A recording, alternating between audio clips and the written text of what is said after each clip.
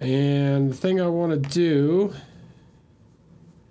is I want to reinforce some of the color in these guys. So I don't quite think that the like torchlight is working yet. Um, so I'm going to play around with a few tones here.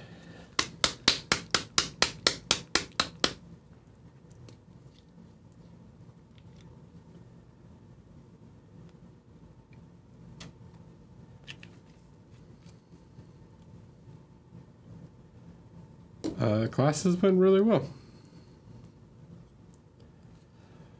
I'd say they were quite enjoyable. I think people had a good time.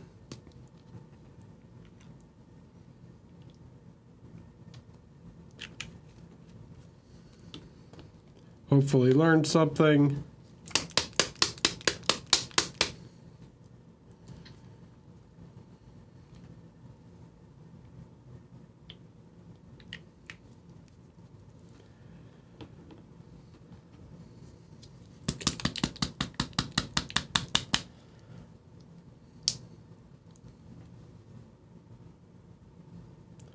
Now we can get back to the painting.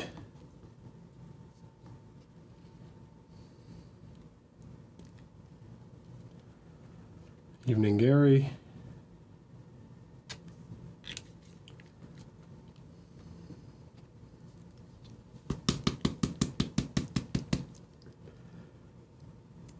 So we're going to make some adjustments.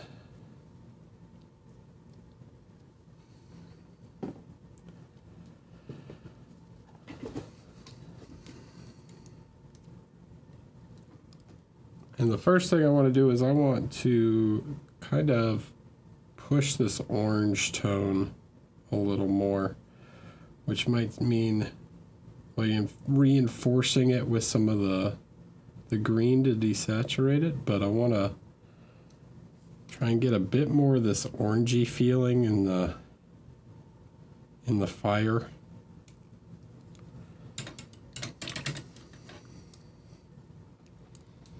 So we're going to enhance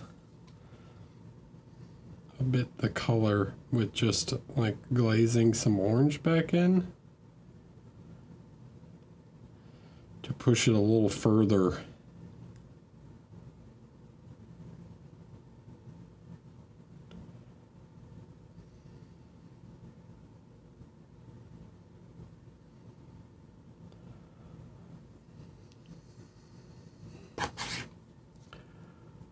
Reinforce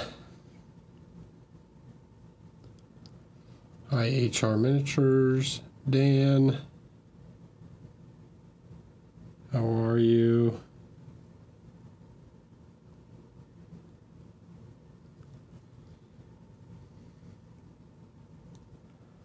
So you can see just already how much it's like kind of changed the, the skin tone.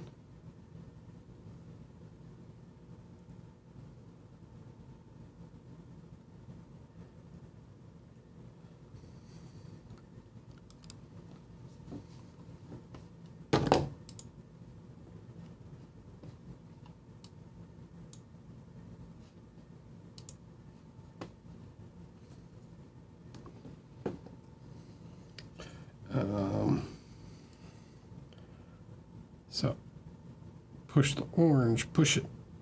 Gotta get more orangey feeling.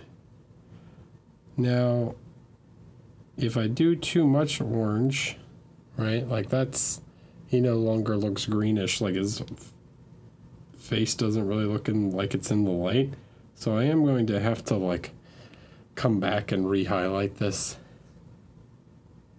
Um, but you'll see that that orange color plus some, you know, yellow. We get this like desaturated kind of orangey yellow tone for a skin color. So we want to just push uh, more into this kind of family of, of tones to give that feeling of uh, a bit more feeling of firelight.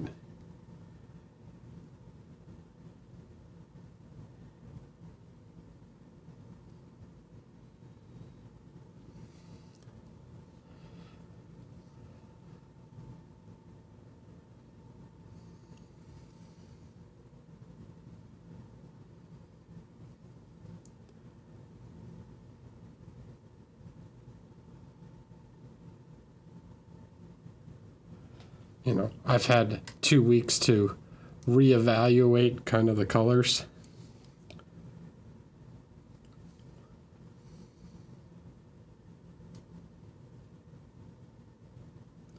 So we're gonna really try and push like the atmosphere some while still maintaining the like sense of green skin through the color constancy. Some of you may have learned that term.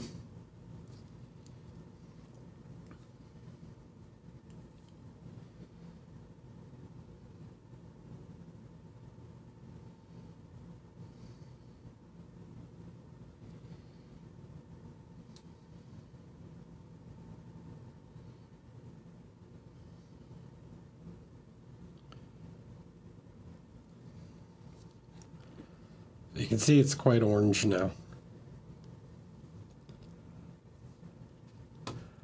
Hey, Force.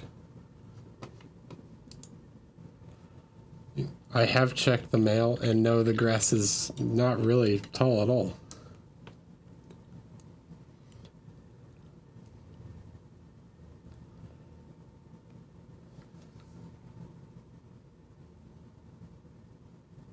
Alright, so now we can push a little more into this guy. Okay, something like that. How's fishing, huh?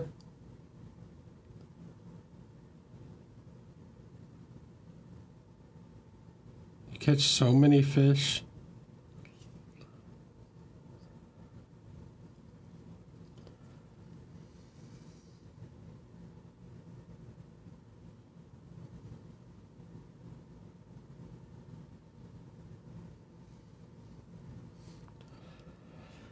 Okay, right. So now we can begin to push a little more, and that's going to bring the light back.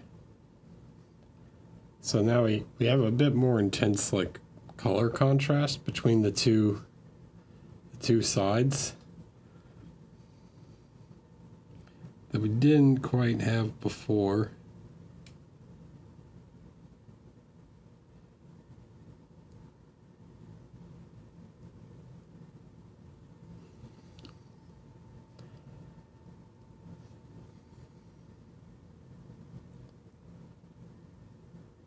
Vegas was good.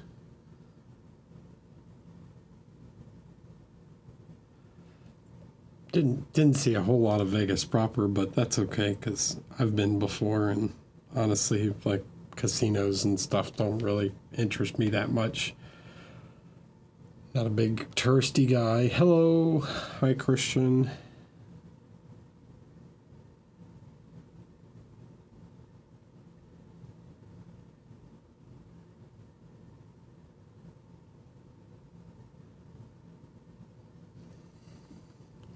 All right, so now you can kind of start to see like just the difference in the color makes of the lighting.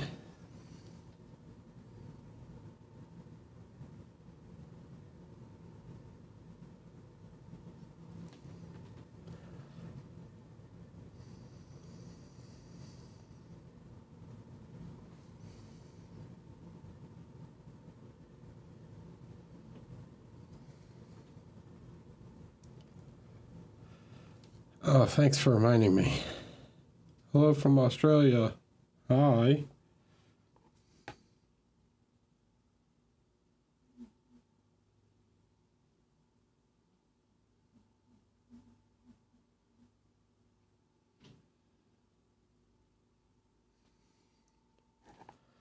So we can push the light a little bit more. Thanks, Chum Dab.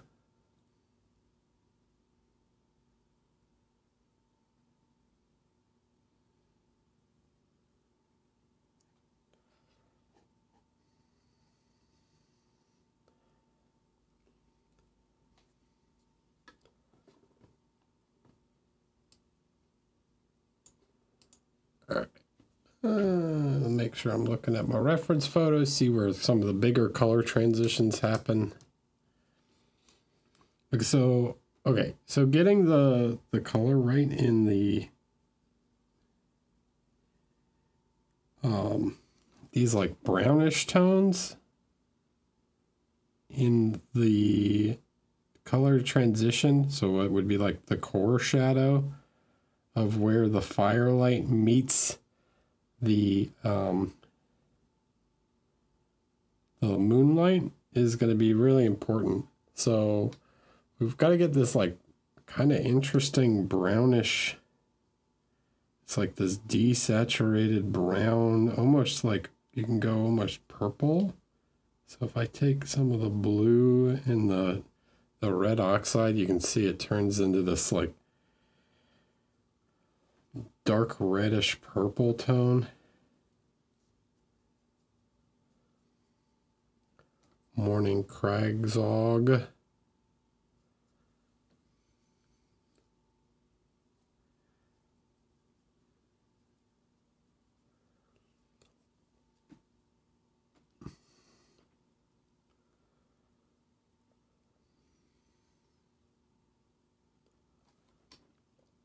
And this is where I want to use like what I want to use for really deep uh, shadow transitions, right? So it'll change from this sort of, you can see it doesn't really look purple here. But as the color transitions from one to the other,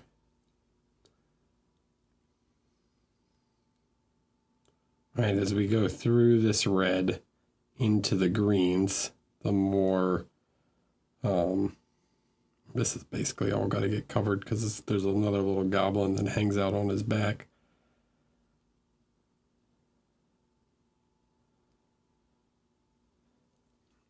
As this gets covered, we go through that that like deep red.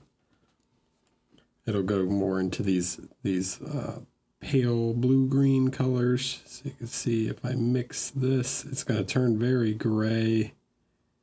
We can add a little bit of our like base goblin skin tone color. You can see it start there. It starts to turn very, very gray.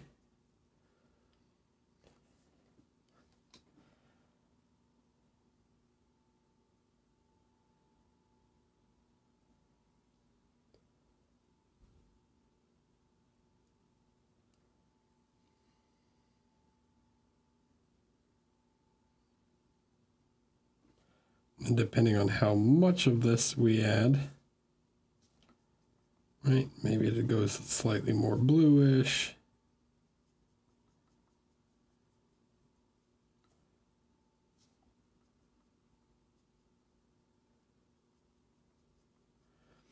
Right, that subtle tipping point between what reads as green and what reads as red is when you're going through these subtle grays is uh, a very delicate balance.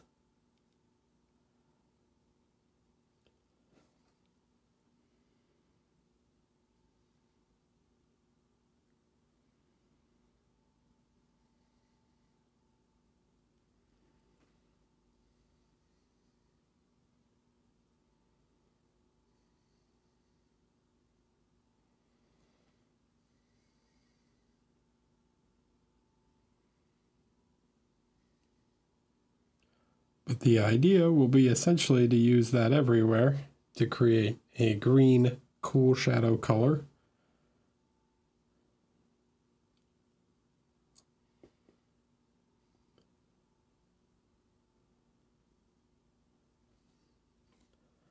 And then it transitions more to this warm firelight tone.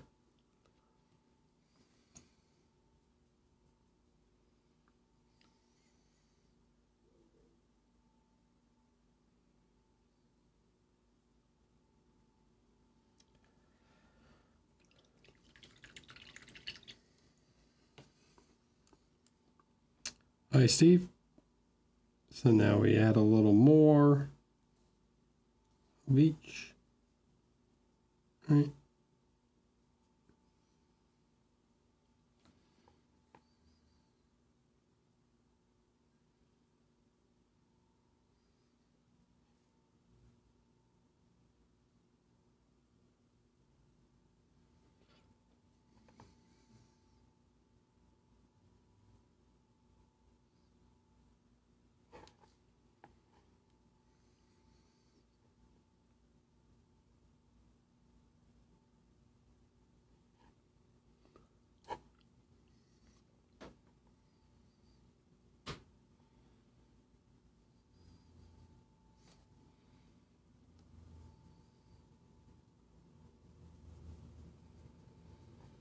This is okay, but what I really need, like this is a bit saturated. It's fine for like just before the final highlight. But I'm to need something a little bit more um,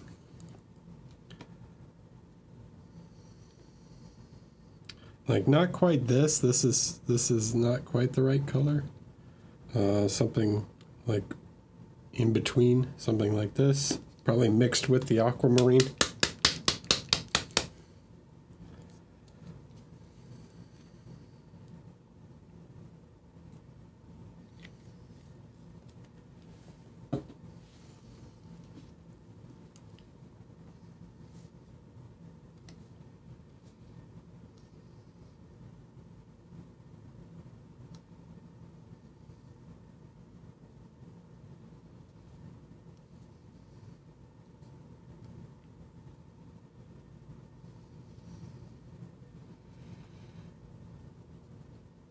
So this this is kind of my moonlight, which means I take that and add it to my previous mixture.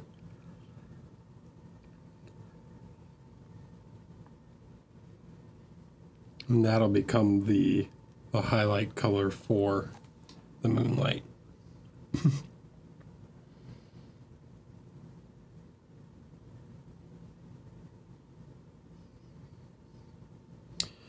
Something along those lines.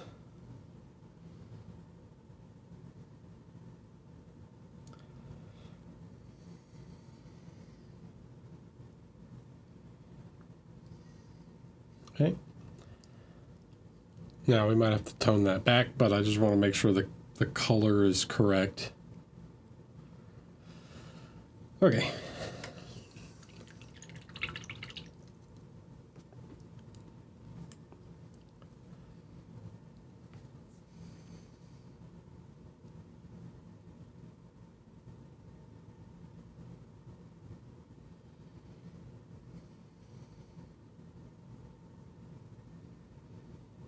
Might have to go one more, slightly more yellowish color.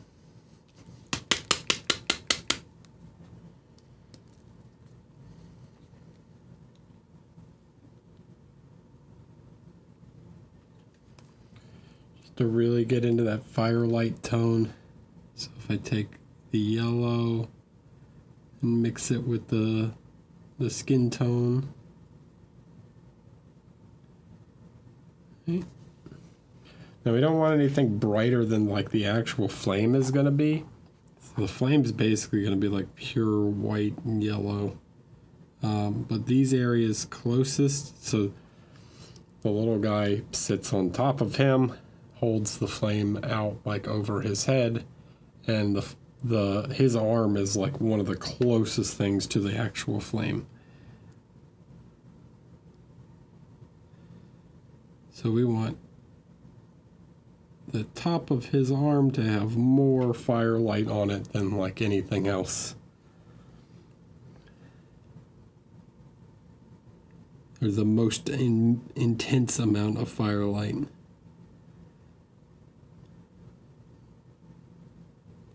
And then as it kind of goes down and away, that firelight will die off. We watched a video, or I did an explanation, I mean, of the uh, inverse square law last video and kind of how a light source um, can affect like is affected by the the distance it is to the object. So fall off happens differently. Hello doms. Thanks for the tier one. I appreciate it four months. Okay, so we push push the light a little bit more here.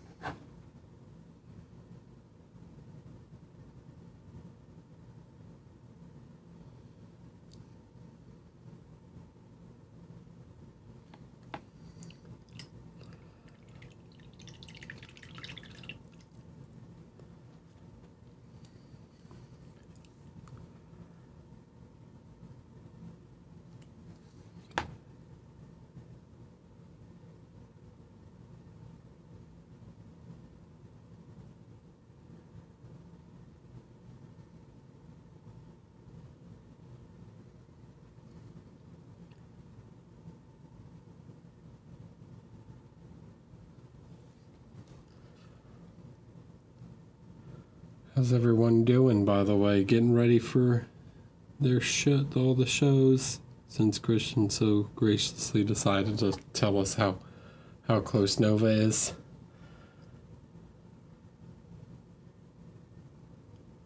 Erik, why do you start with a more green sketch and then go more orange?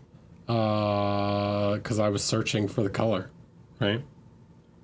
Had nothing to do with like why I didn't choose to go more green. I'm just aiming for a certain feeling and I didn't quite get it right on the first go. So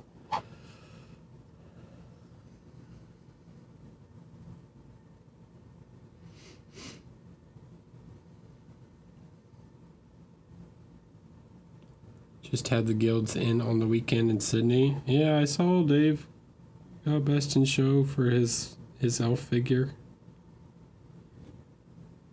Congrats to Dave.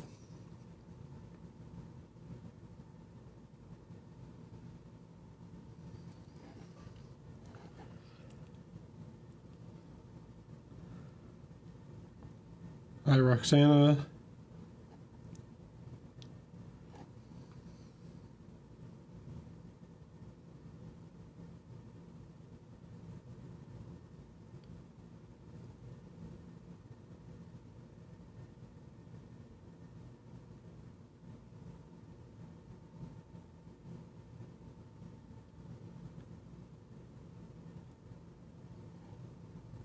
Did they both display their their elf? Did they both bring them? Or just Dave? Like were they both in competition?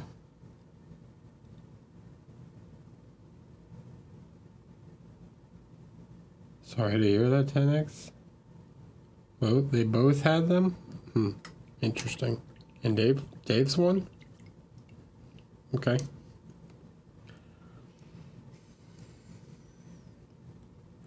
I know Tebow's in Australia right now.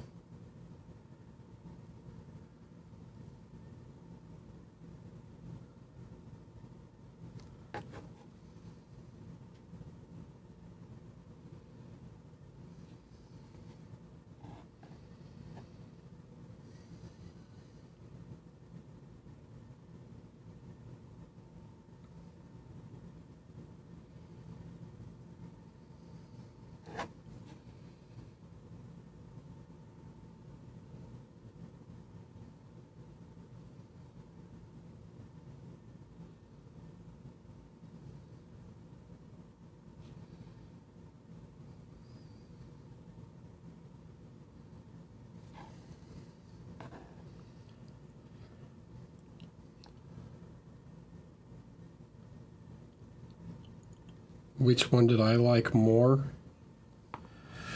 Okay. Let me let me start, all right? Before anybody goes getting mad at me. I like Dave. Dave's a great painter. I do not think that that figure is super successful. Um, there's a lot of things that work really well on it but I think the thing people are, you know, getting all hype about the the like reflection in the steel armor for me does not work.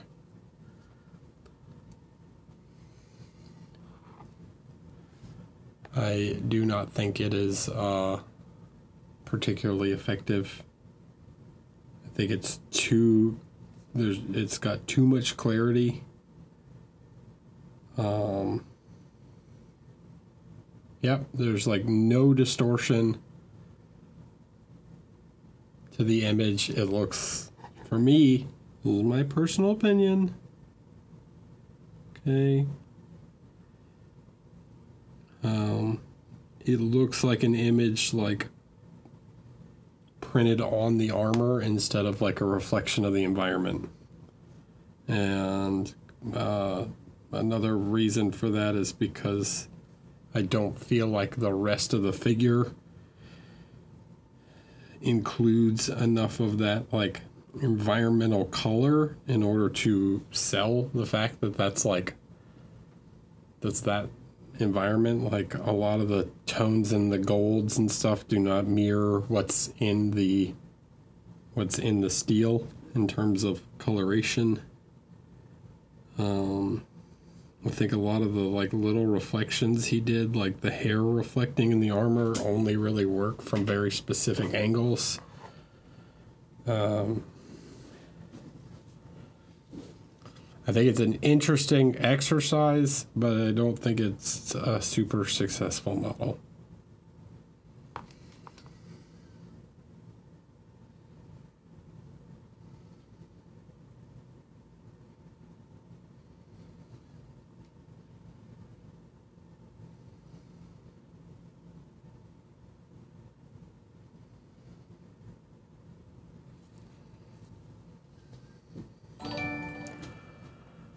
Hi, Ginger Beef. Thanks for the tier one.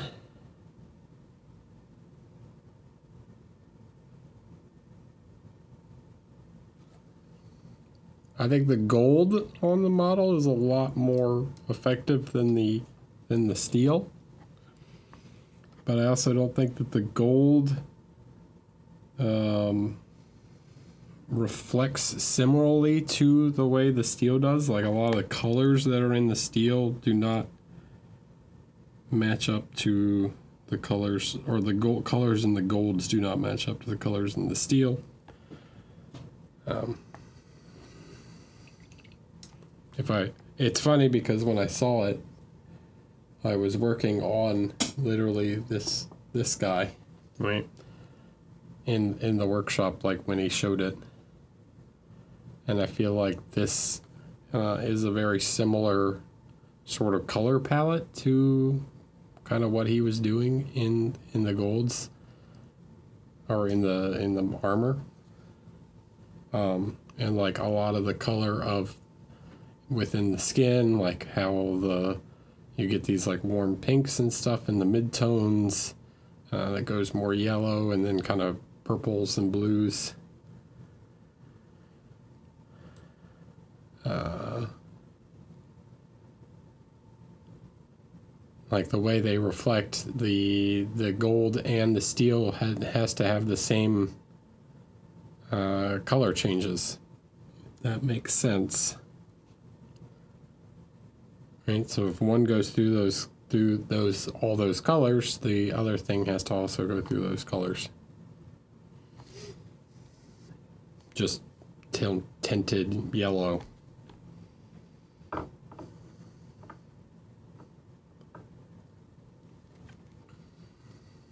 Thanks, whoever asked, for turning this into Critique Dave stream, where Dave didn't ask.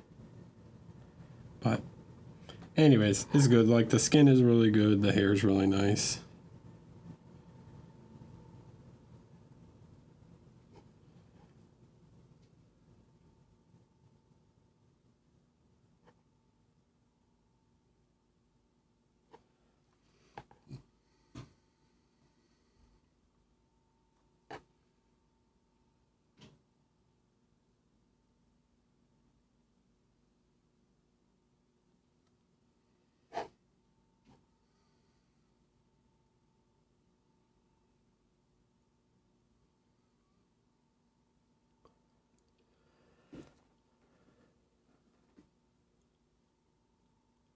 What do I think of the new Ocalary Mercenary? I think it's super cool.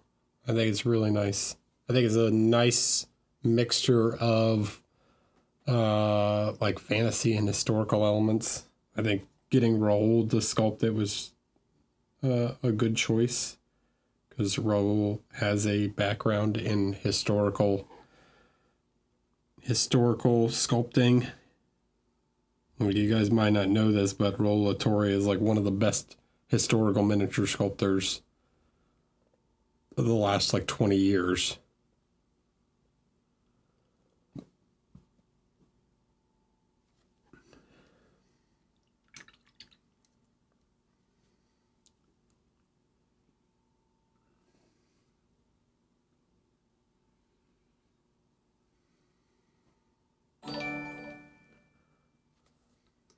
What is that? Darth, what's that? Darth something. I can't read it. Didn't pop up in the Darthamun. Hello.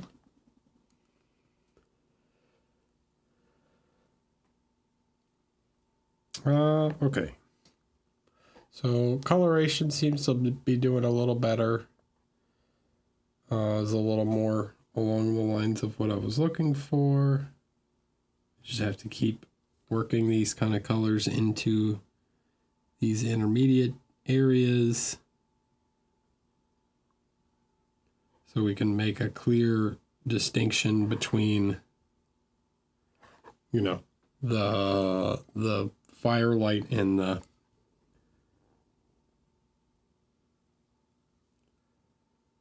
firelight and the shadow side end up with a lot of these sort of colors these like sort of skin tony orangish colors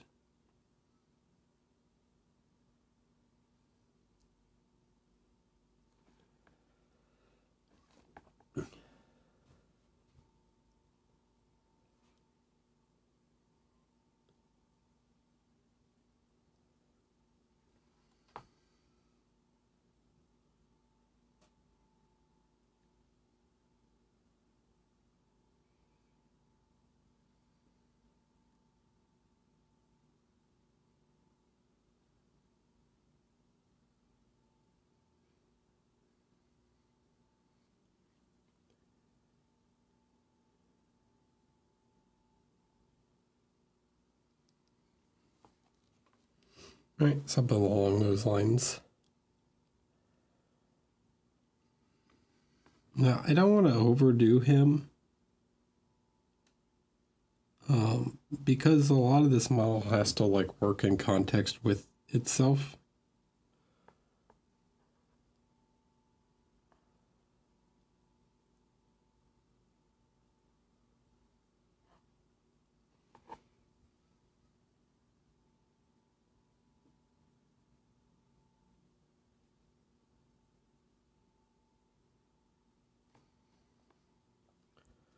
Oh, so we have to create some kind of like intermediate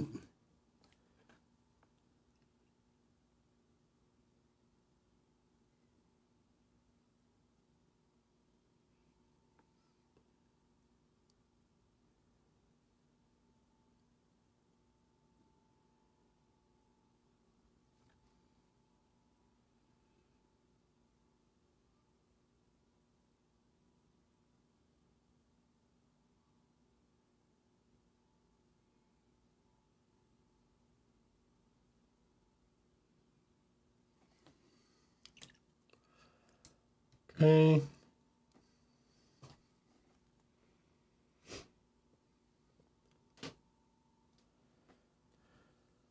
Uh, for the metal, gonna start with the same thing. Start with this dark tone.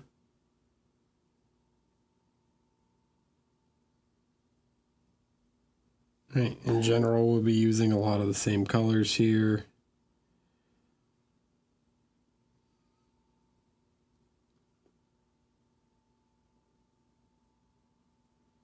Getting these these warm browns and such, uh, and then we'll go up through the kind of warm colors, and then down through the, the more desaturated cool tones.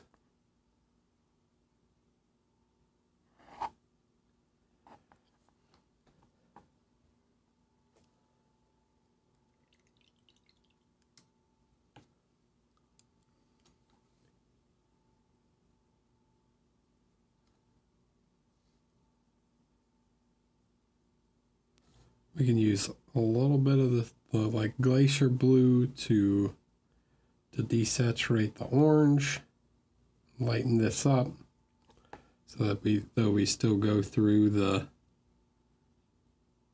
this sort of color is not quite as intense as the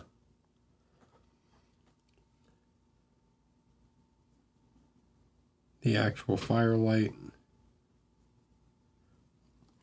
um, we're going for like a kind of rough uh, sort of color here. So we want to think about like where the reflection is going to be. It's going to be really intense.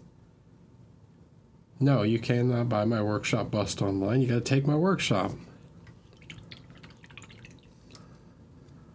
You can buy the one without the hood from Kimera when they're uh, from the kick from the Velvet Kickstarter, but I don't know when those are delivering and when the the retail one will become available. But no, it's my workshop bust. No, it's not Topulus. I did not say that. Were you guys making stuff up? I never said that was going to be the figure.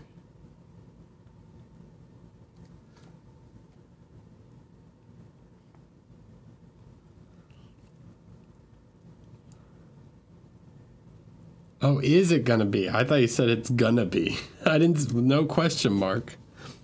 I was like, geez, just trying to make manifest it. Like, nah.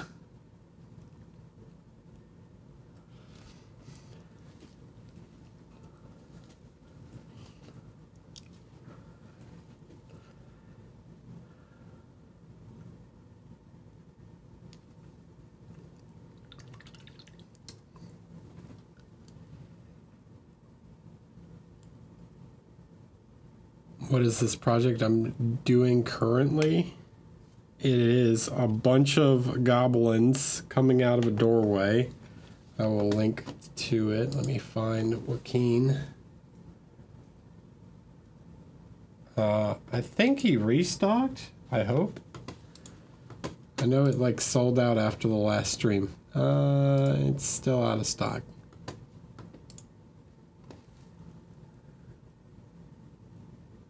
Well, he says he's supposed to restock it soon. So if you want to order one, yeah. Oh, thanks. He said he was going to restock soon, but yeah, it sold out after the last last stream. So uh, it's a, a whole bunch of goblins together doing little goblin things, you know.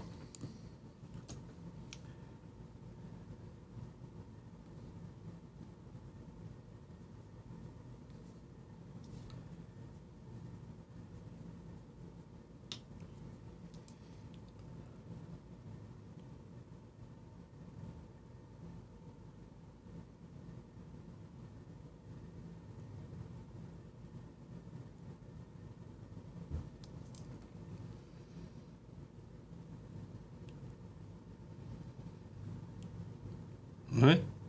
What about Marco? You trying to turn Marco against me? What are you doing?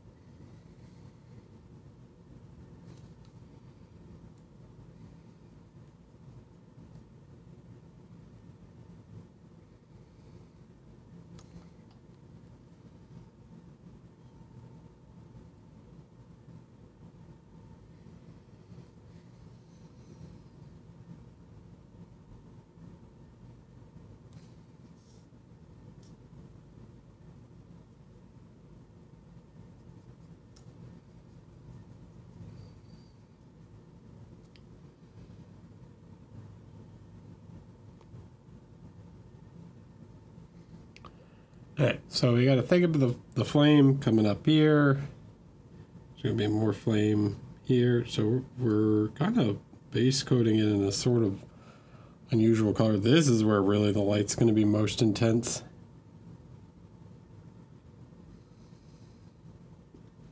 But anywhere where that torch can see, right, we're going to get the strong yellow tones.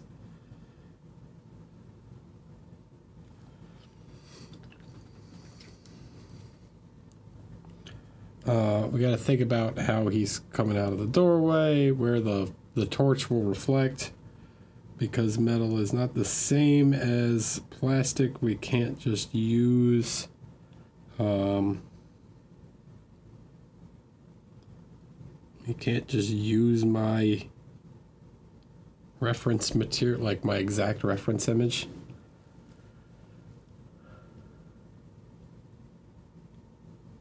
Uh, do you still have classes for SMC? Probably not. No, I sold out. The my SMC class sold out in like ten minutes or something.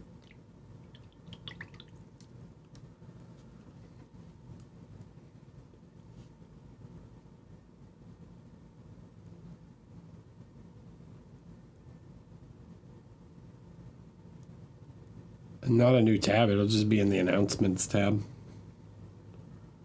Hello, Luminac. How are you? How big are the classes at SMC? Uh, 16 people, something like that.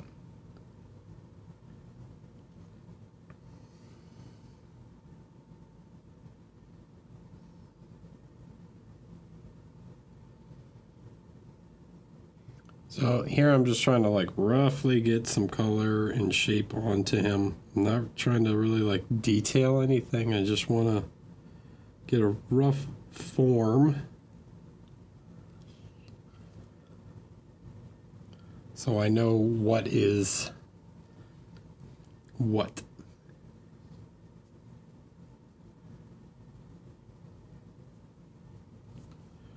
Right, so this side is all gonna be like black.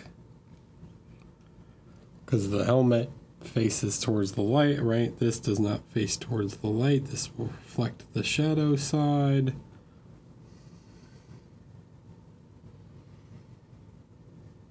Um, his ear does face towards the light though.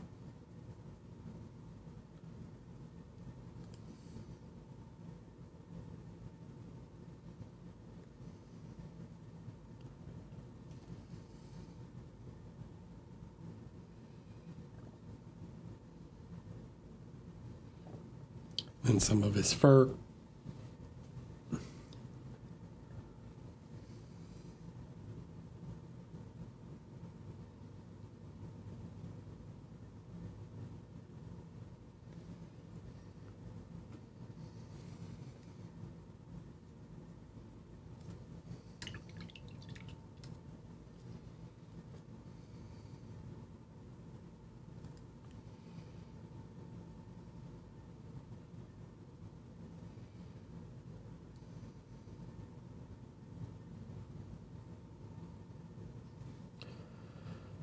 This is quite yellow.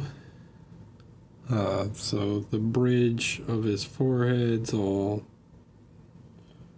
or his brow ridge is all going to be quite yellow. This comes down here, sort of hits him on the front of the helmet, creates a reflection towards the viewer. Marco Frazzoni. Hello. Hi, Marco. How are you? Erik, will you be painting at any stands at SMC? I don't know. I don't know yet. I don't know. I haven't planned that far ahead. Uh, Scooter 42 and Jam Geoso. Jam Geoso. Hi, welcome. Uh, no, I mean, I'm sure I will, but I don't know which ones.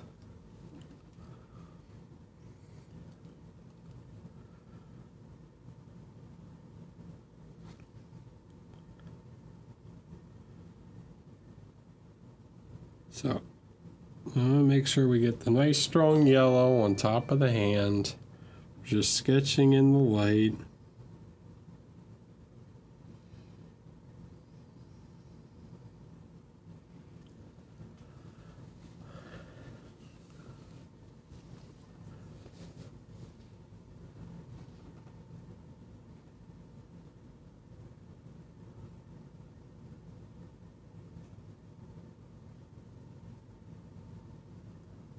Hello from Portugal? Who said that? Did I miss a message? Oh. Hello from Portugal. Erik started painting last month and you quickly became a reference for me, learning a lot from watching you paint. Obrigado. I'm good. Thank you. just got back from. Hold on. Ugh, get the hair out of the way. What's up? Just got back from Vegas. Doing lots of workshops and things.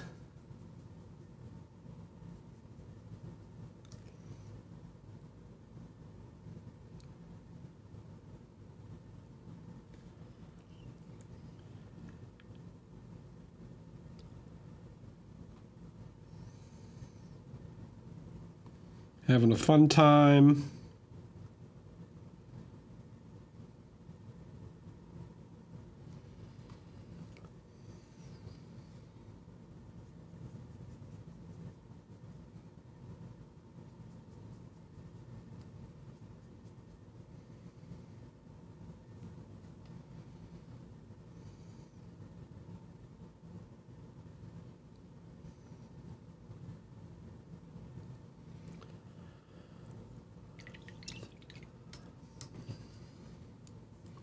little workshop, little private coaching.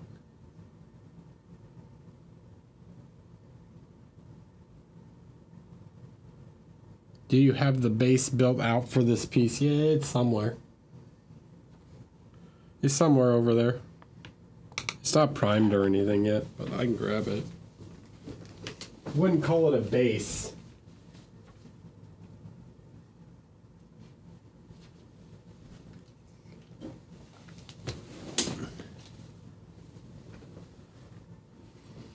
It's more a doorway like this, and then the little guys like stick out of the doorway. It's all flat on the back, so I'm going to put it in a picture frame.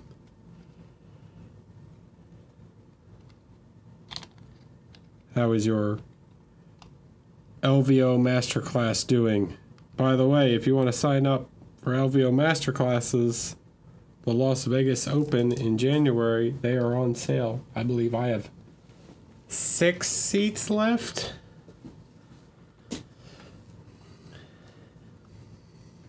I don't know how Marco is also teaching. I don't know how many he's got left. But they're going fast. Get them while they're hot.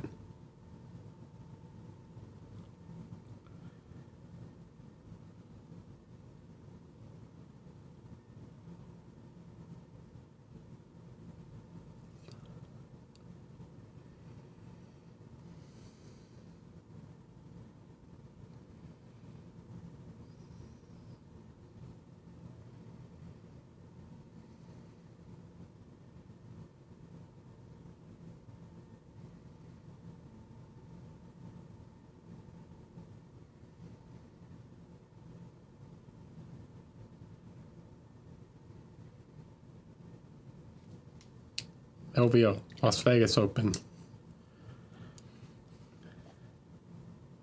It's a convention.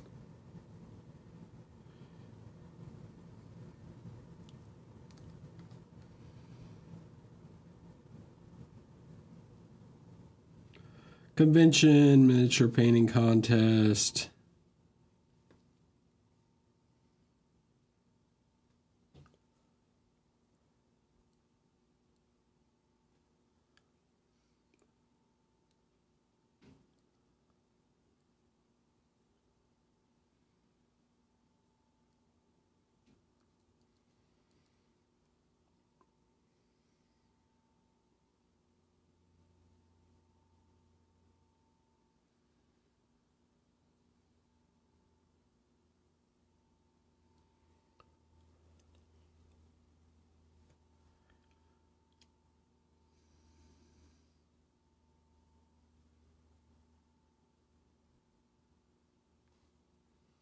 I haven't decided when, uh, but I might come in early just because flights are much cheaper to fly on a Monday.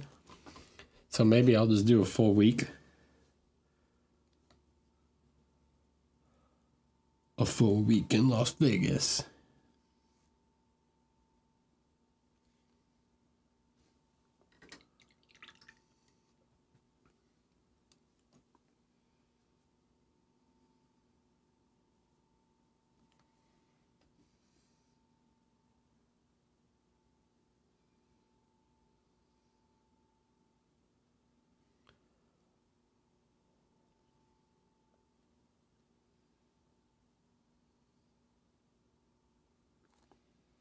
So you can see this the torch doesn't reach that side of his face.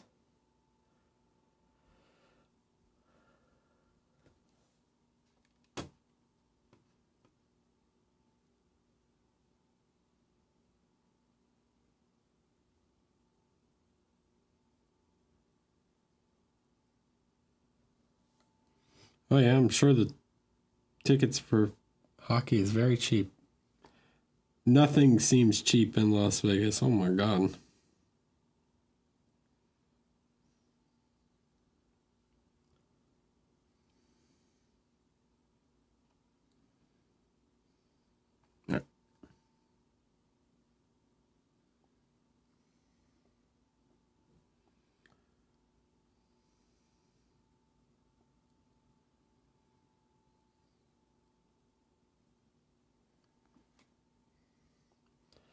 You can kind of see we're sort of like this is going to be the wrong color for his helmet. Um, instead, we want to kind of switch straight from this to this guy, so it's going to like not be as green as the other one.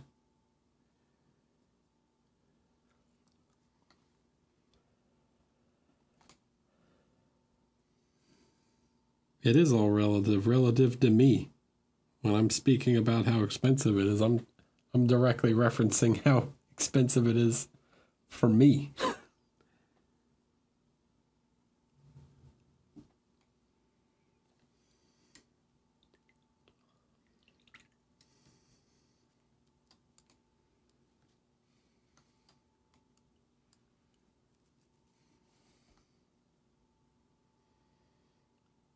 all these dang California people keep moving out to to Las Vegas, making the prices go up.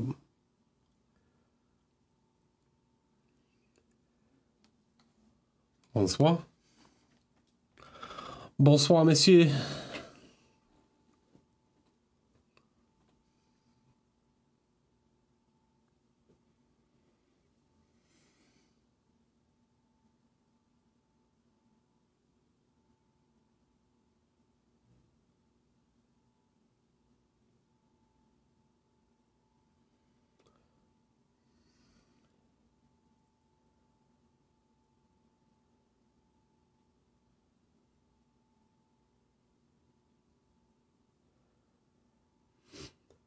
See you, Marco. Enjoy the rest of your evening. Or I guess just have a good a good rest. Right, so eh, we see kind of see we're sort of separating.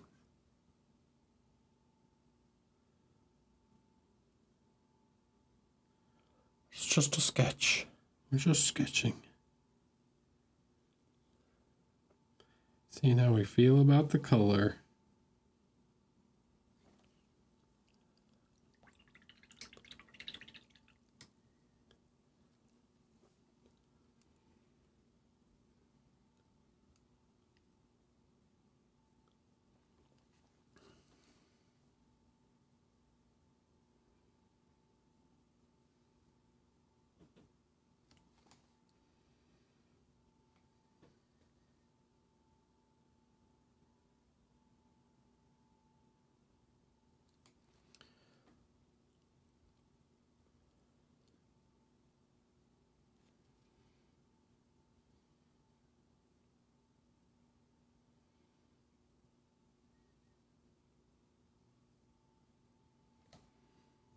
Right, so we get something like that. But then also his helmet is sort of round, so we could get like a reflection of his arm that maybe wouldn't be as intense. We're just sort of feeling it out right now. Just kind of feeling it out.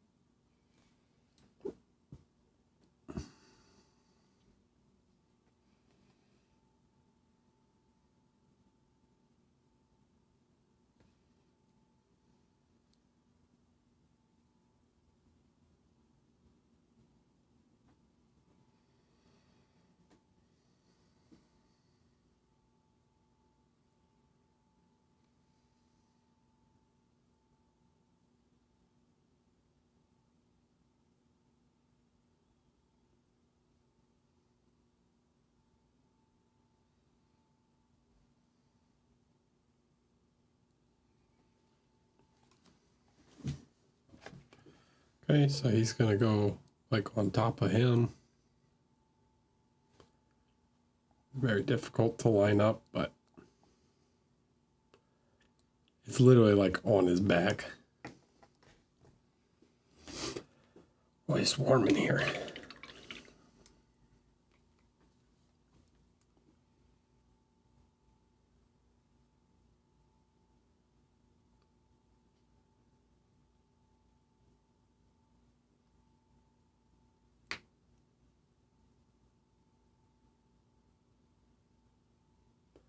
See ya, thumbs.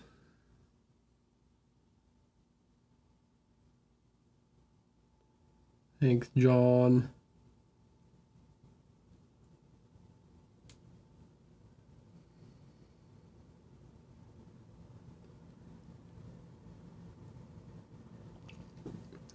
Yeah, but this is also rough. Like, I don't know if I necessarily recommend everyone to do it this way. Um,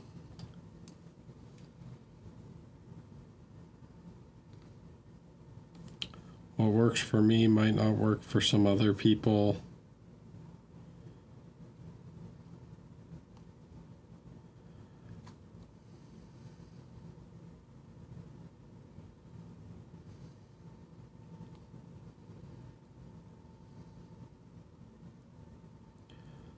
A lot of times, what I'll end up doing is like I'll do a sketch like this just to get like sort of some rough idea in place, and then I'll end up covering over the whole thing, anyways.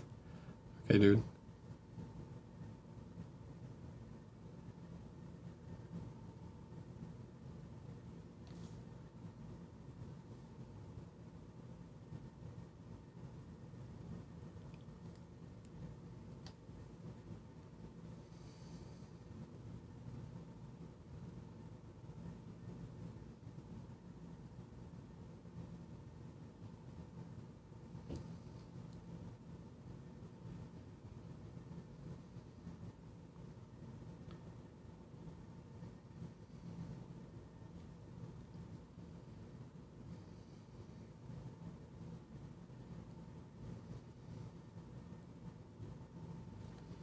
Yeah, for sure. There's a lot going on in a in a complex scene like this, so you have to. It kind of helps just to get like a rough idea in place. Um, but also sketching like this leads to a lot of cleanup later.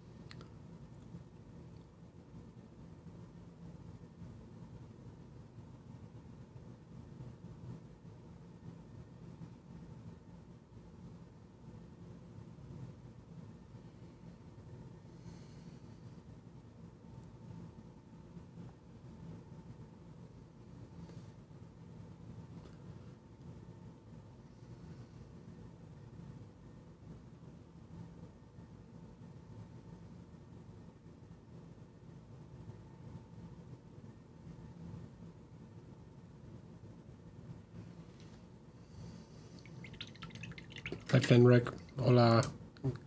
¿Qué pasa, tío?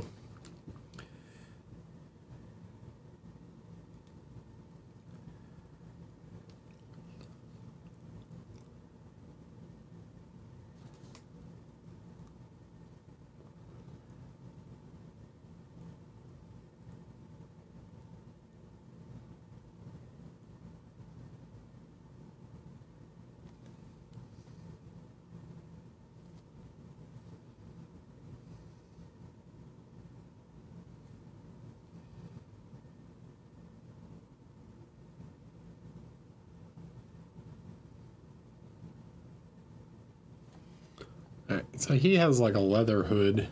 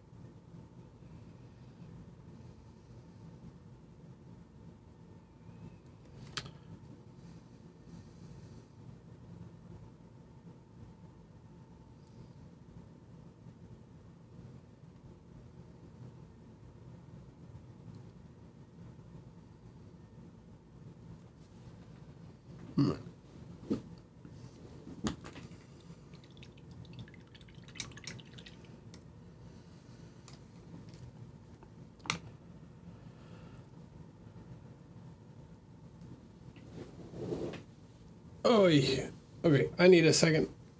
I will be right back. Gotta grab a drink. It is so dry in here. I feel like my paints are drying out very fast.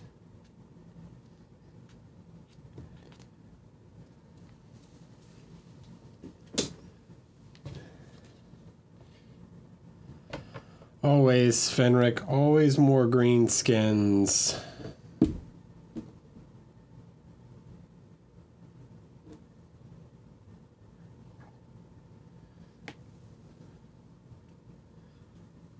We, I actually just finished this guy. Let me zoom out.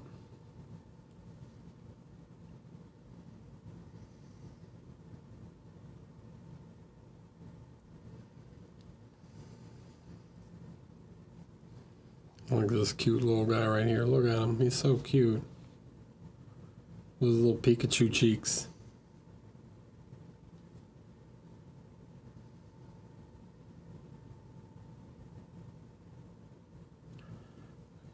Am I keeping this guy? No, man. I don't keep nothing.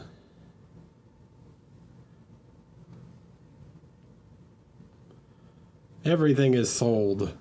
They're all sold.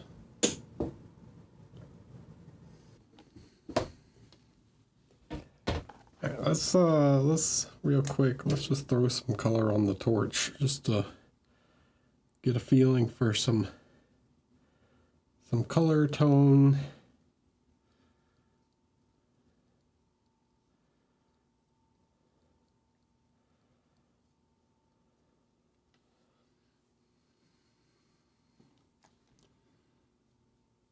Thing about the torch is we want it to be like really bright. So we're not going to use too much, uh, probably have to push more white into it actually.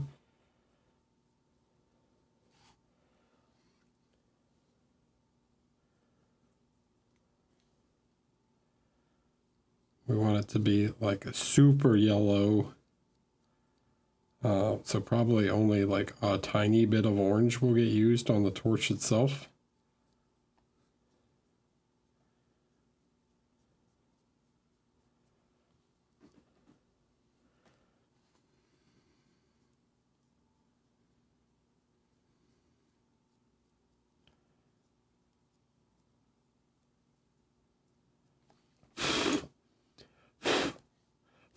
Get rid of these little bubbles, don't want them.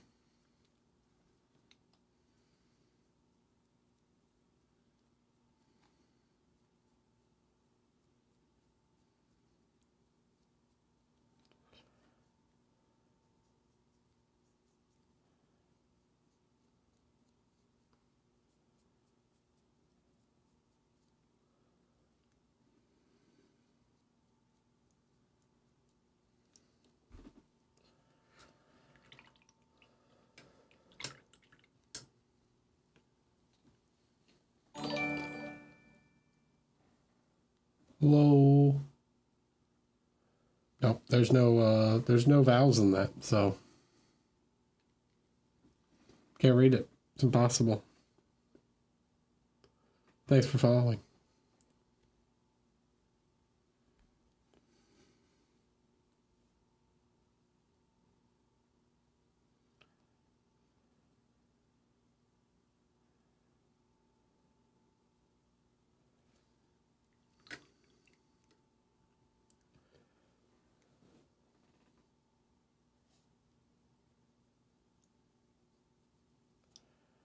All right. So get the idea of like the torch flame.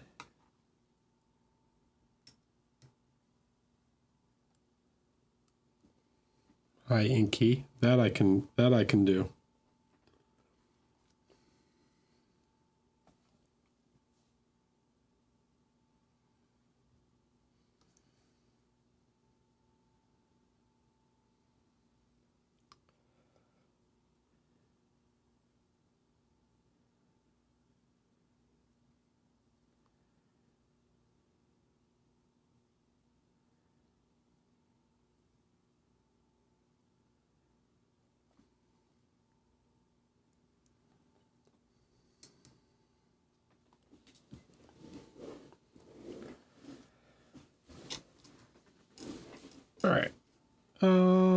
See. Push the orange a little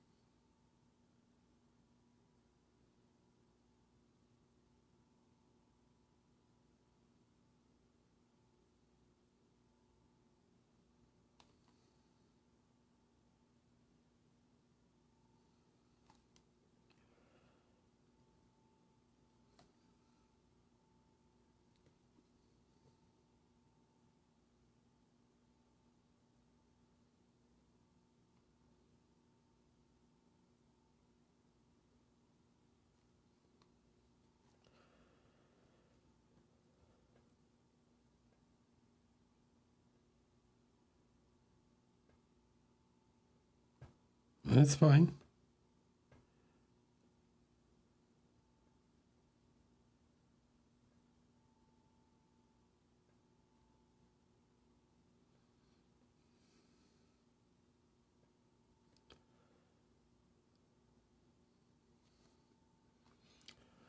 So really the goal here, we could zoom in a little.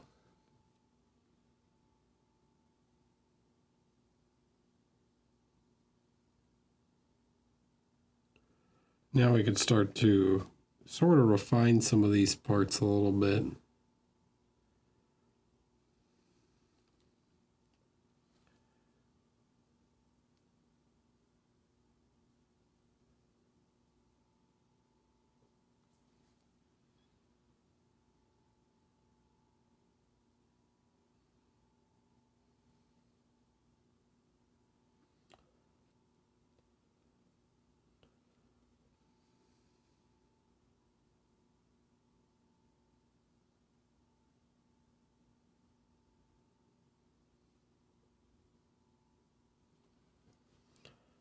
Really going to be to like separate the light and shadows or the the two light sides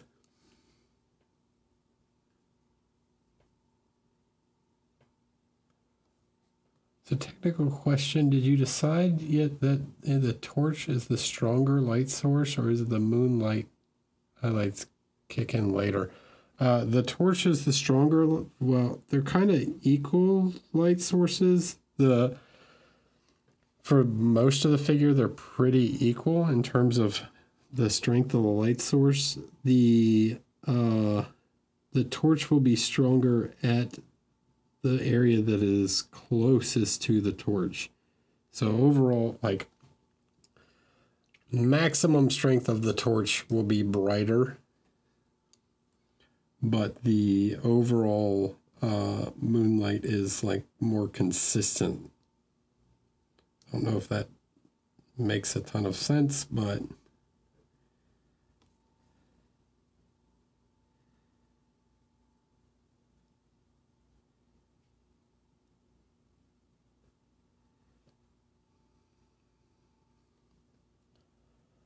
the torch is stronger but falls off faster, where the where the uh, moon is more um, equally strong across the whole scene.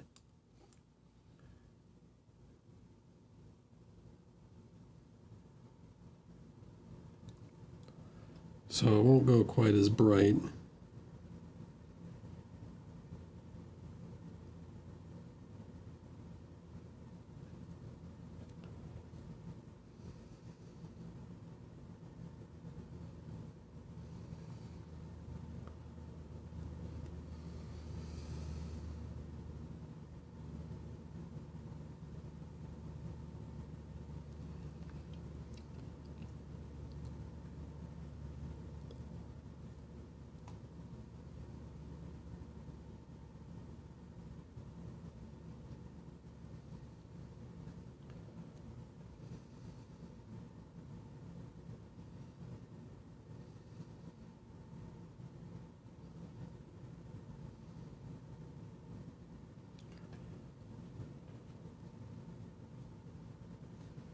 Yeah.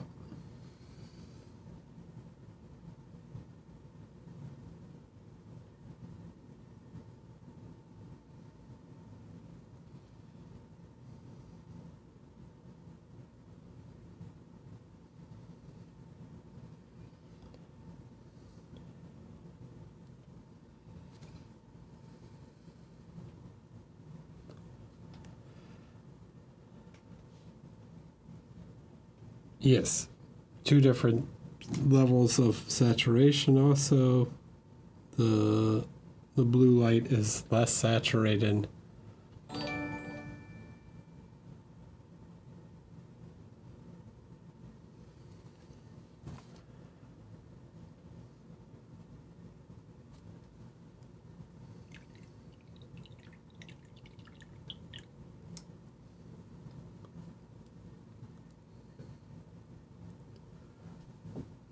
Daisy. Hello.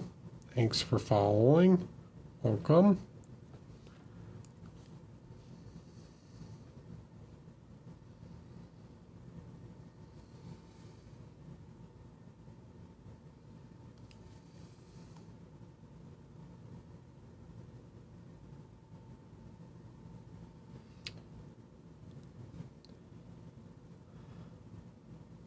So these kind of parts are really important here that we get like these little lights that hit like on his brow and uh kind of on like underside of his eyelids here, right? In his eye socket. So as the light comes in this way, another light's coming up this more forward from this direction right? So it's going to get like up in here and light up some of these parts.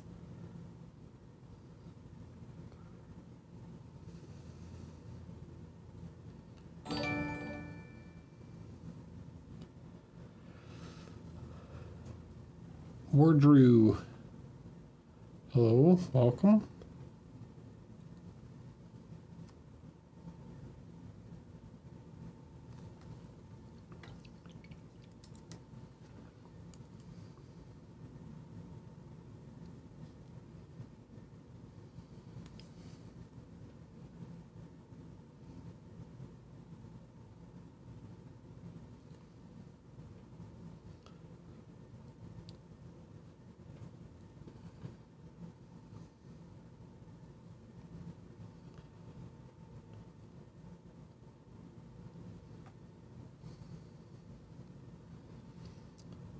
Okay, so you end up with something sort of like that. Uh, obviously, we gotta really start to like push individual parts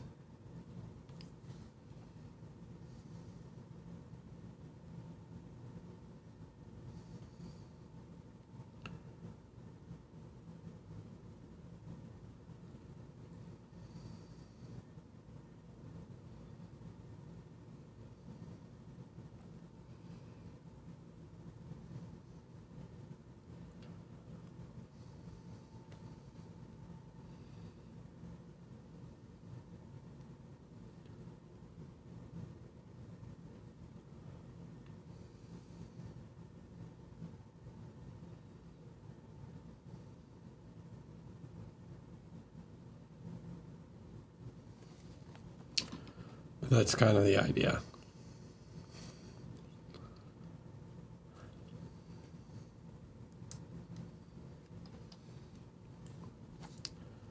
So together, right? So he's probably not quite right. Like the his face is probably a little off in color.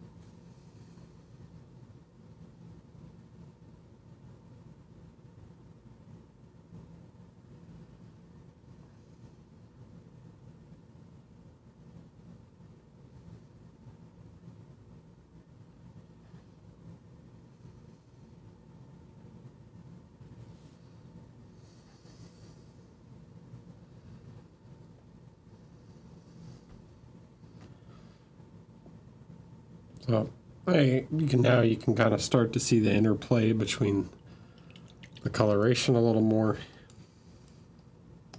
Um, probably need to play with some of the color of his teeth a little bit.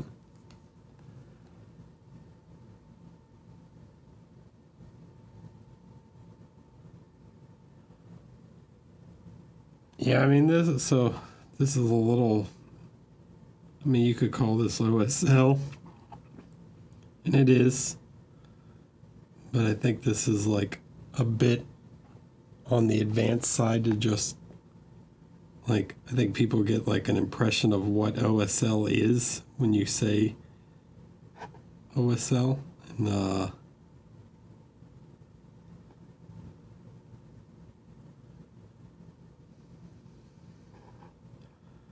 though technically would be correct to call this OSL, I think it's a little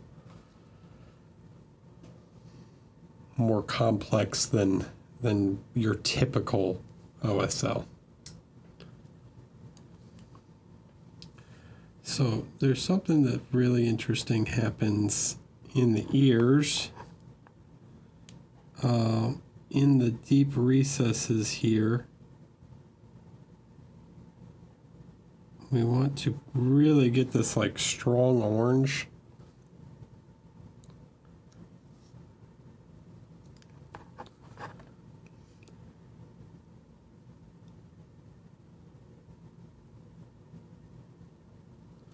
Because the light is going to pass through his, the like skin of his ear.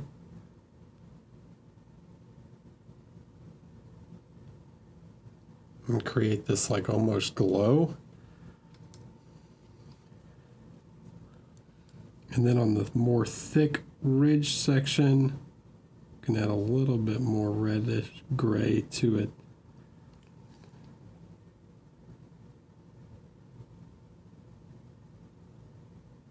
We're going to put a bit of blue highlight, bluish.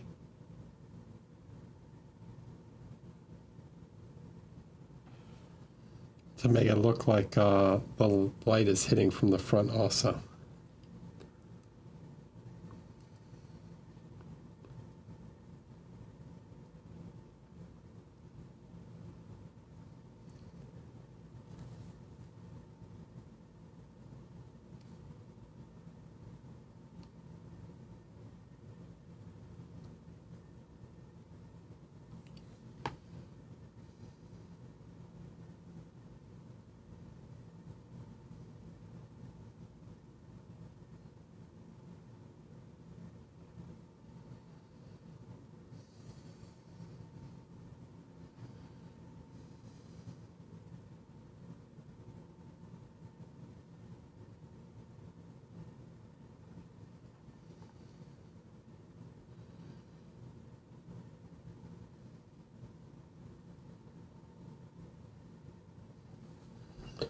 Got like two light sources interacting. One is literally passing through his ears, and the other one is.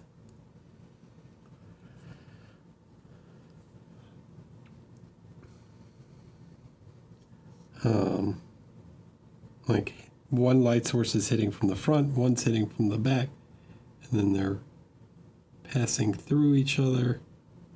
The light's passing through one side and affecting the light on the other.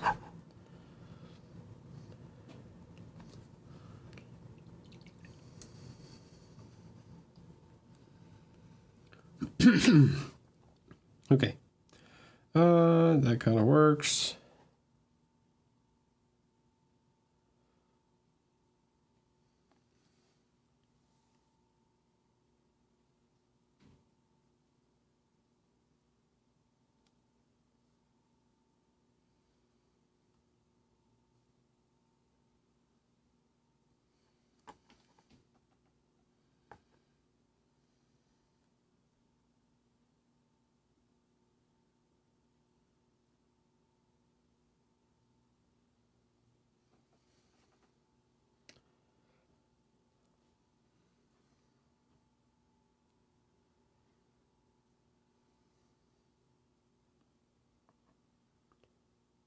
Okay.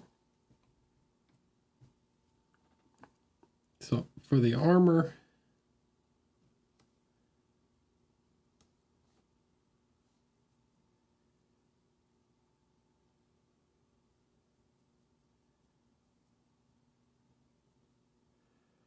right, because the skin's, the armor is not green.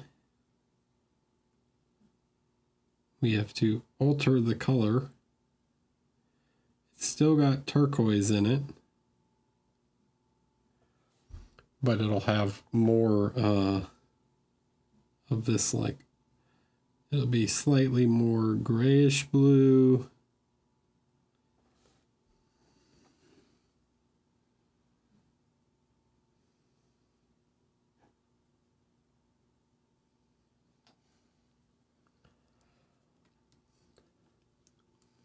Then to almost a black.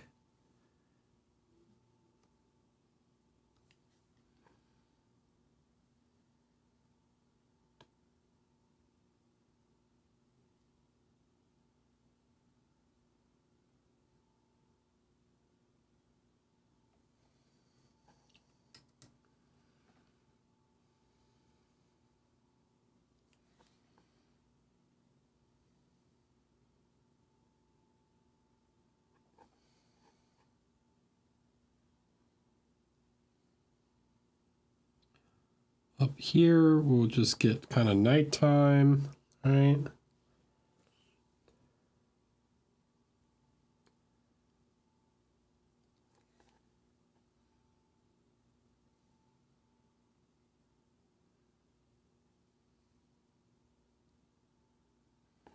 And then there, there will be a few spots where you get like reflections of the uh, the torch like hitting some of the steel.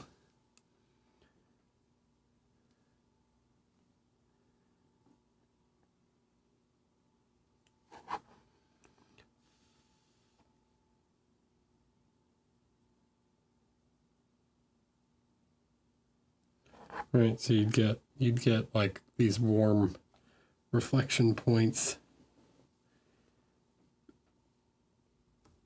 The torch coming like in over his shoulder and catching some of these like edges.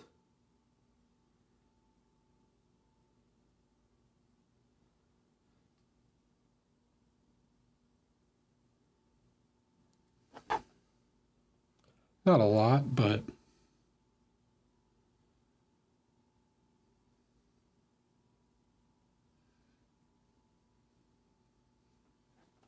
enough to add some invite some ambience.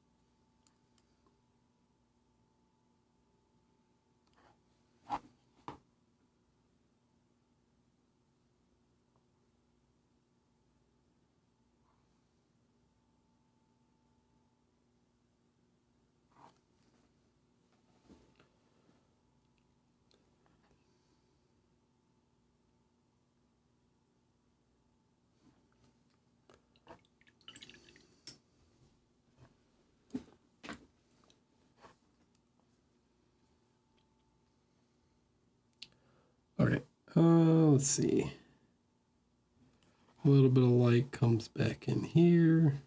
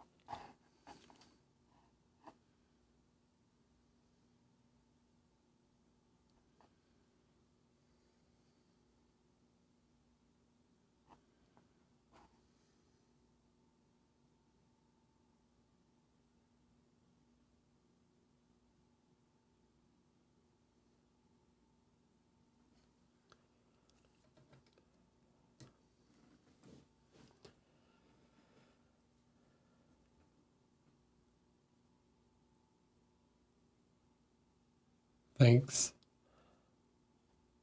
It is, uh, just take it from the reference photo. Take good reference, figure it out.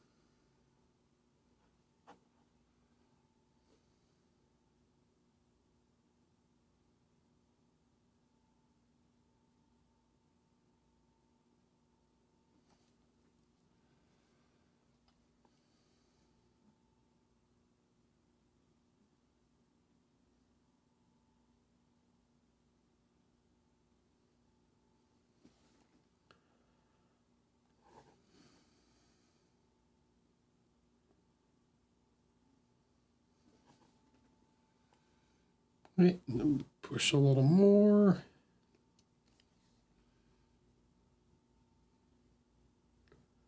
This is where we will really get that like bright moon reflection on his shoulder.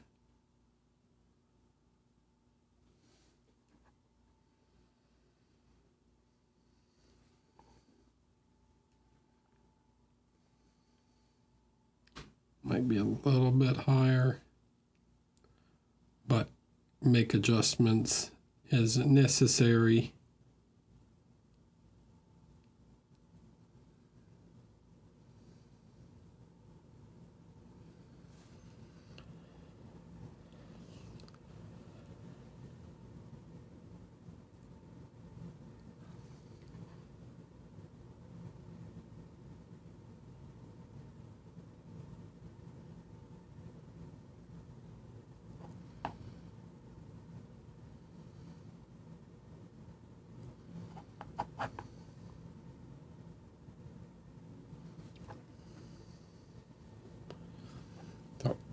Something like so. And then we can always tone it down where we need.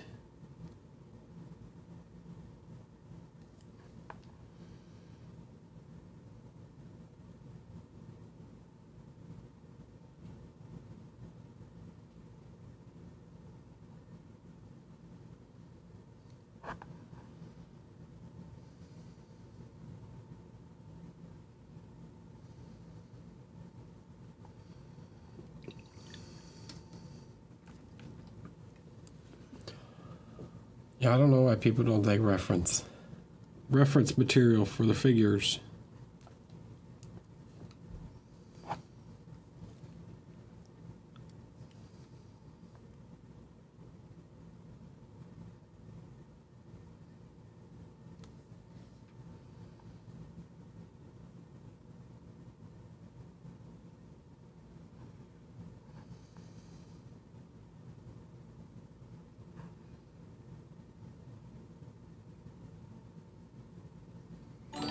Especially when dealing with something complex.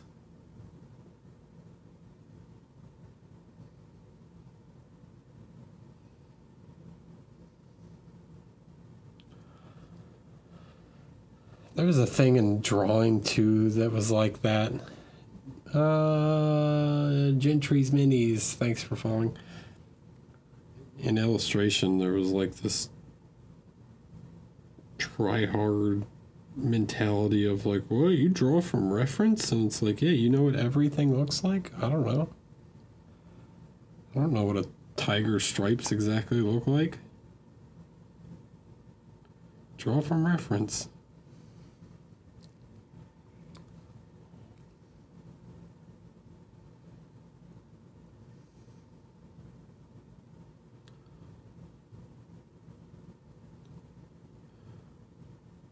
Oh, you must draw everything from memory. Makes no sense.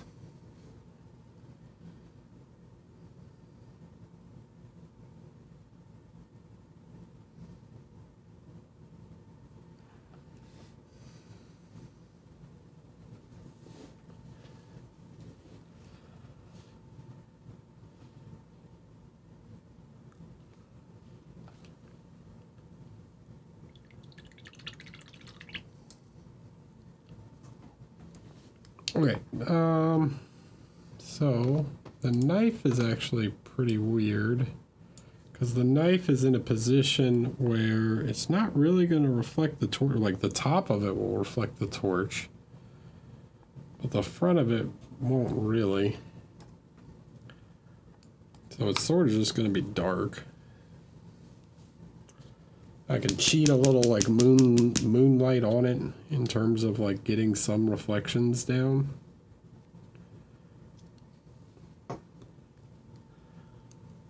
But uh, it sh should just mostly be like dark black.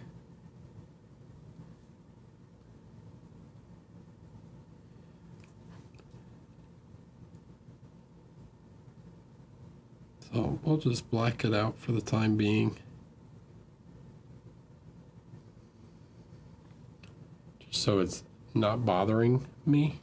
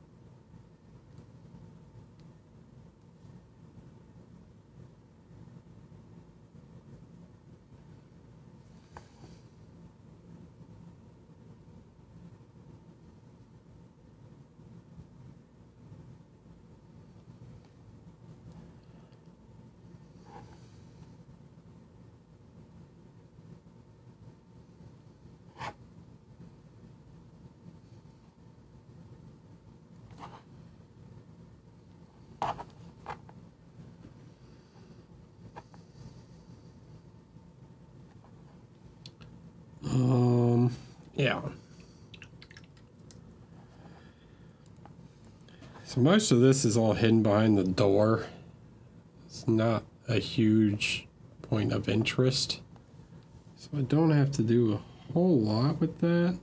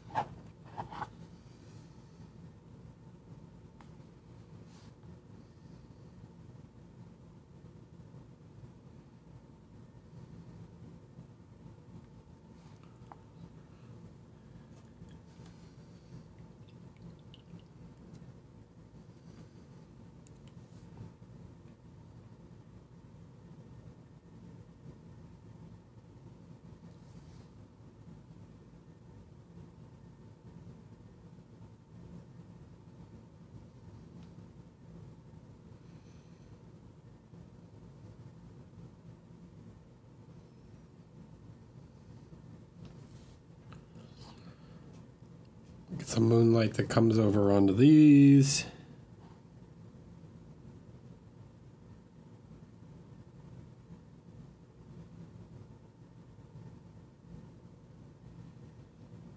I'm just going to kind of mark where it goes just to get an idea.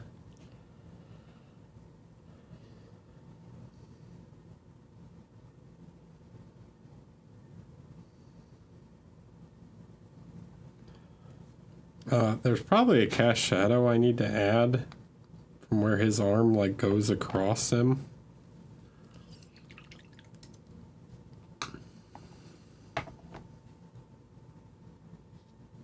Let me see.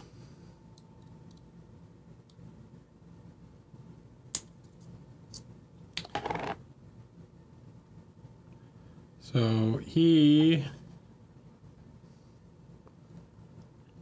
goes on him like this.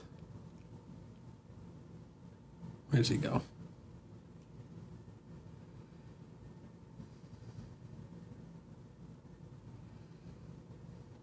Hmm, something like that.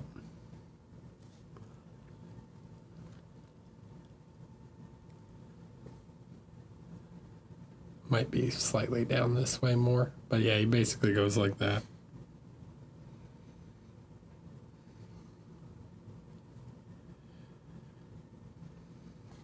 So there would probably be a cast shadow, but it would be so subtle, like on his arm, because the torch would like come around from enough sides. It has like some thickness, like thickness and volume to it, that it's not just like in the the middle. Uh, so I probably won't worry about it.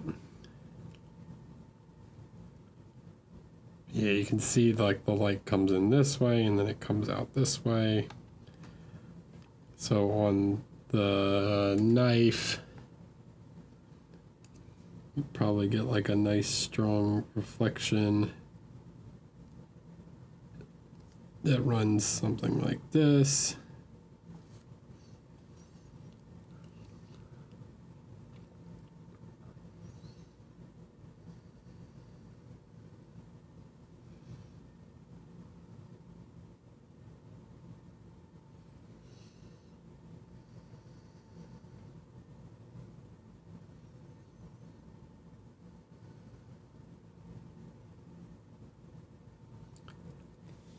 Uh, what's your favorite application with Kimera Paint? Like, what is, like, is there anything off the top of your head you like them for over everything else? Well, they don't have, they're single pigment for one, so you don't have to, like, worry about them graying out.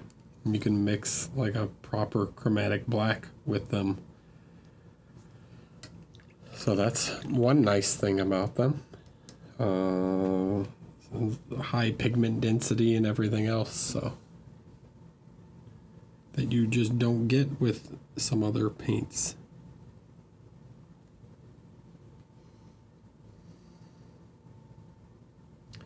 Right, so he kind of goes here, he goes there.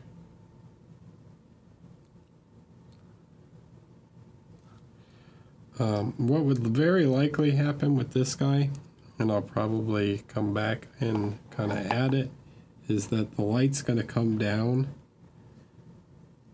and sort of bounce off the red of the other guy's cape. And it's very light, and it's going to add some like reddish tone to his lower parts of his arm.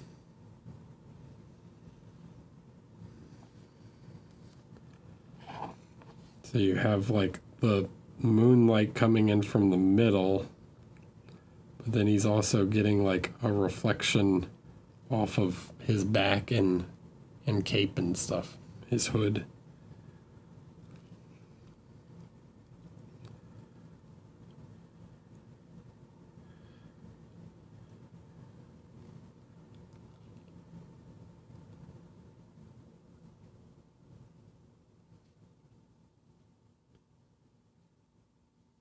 So very unusual, but that's a thing.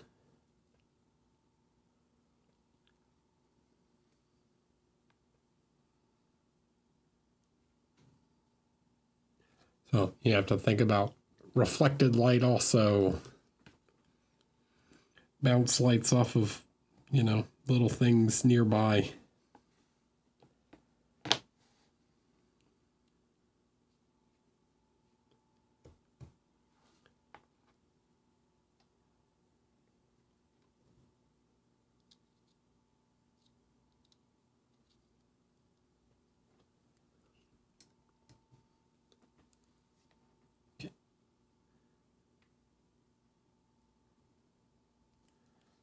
Continue.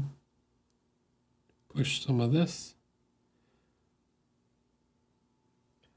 The hood we want like very orange.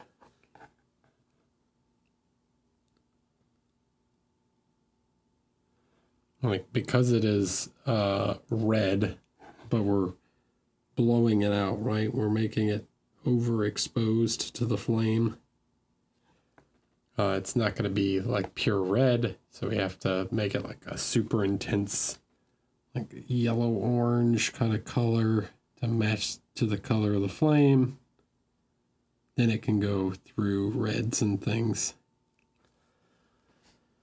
But it's what'll make it read as like a bright, like a super bright red in in context with the rest of the scene.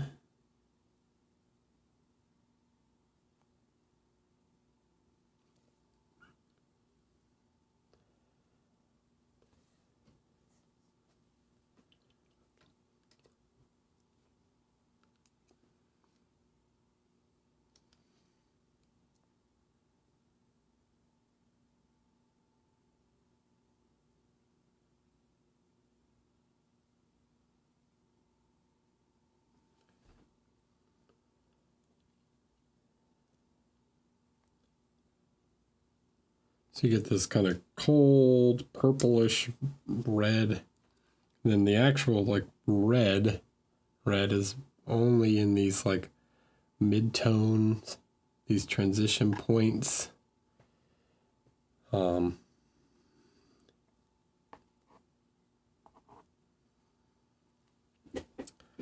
thanks, Roxanne.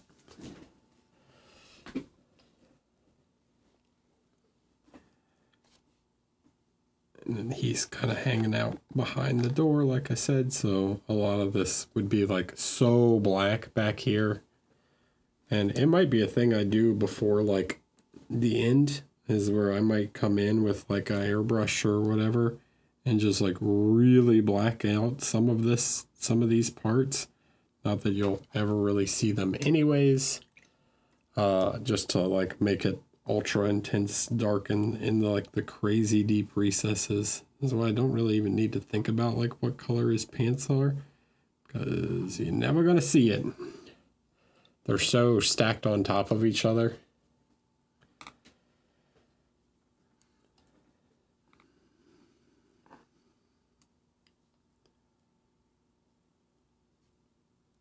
Like under here, I might want to think about what this red does with kind of turquoise. You get these like very grayish tones.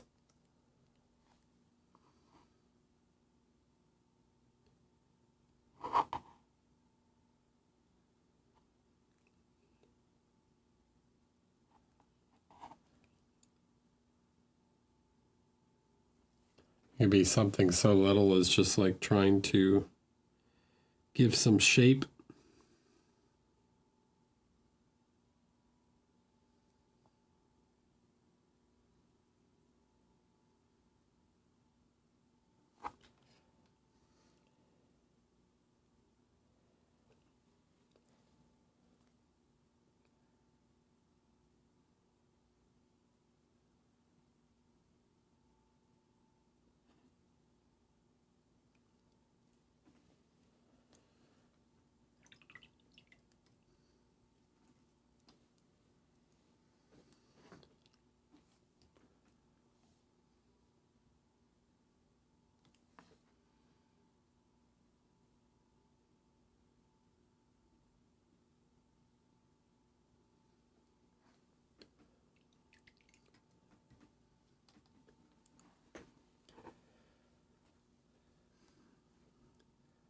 So if this curves away from the, the torch because the torch is directly overhead. This under here, we're gonna get this like reddish orange in the transition point.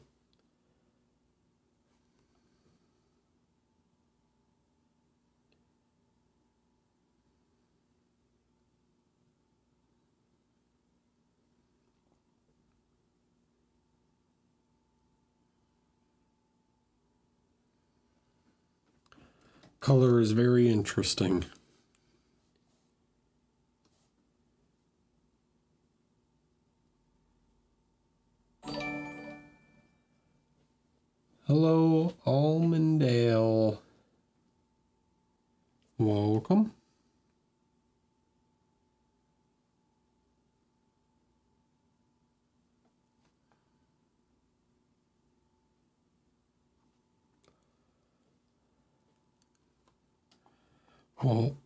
Welcome in.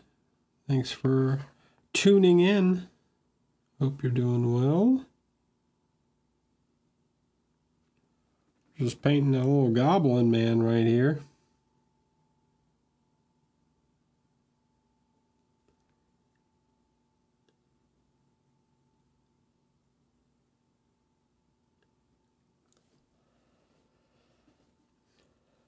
Talking about a lot about how colors interact and blah blah blah blah blah blah blah.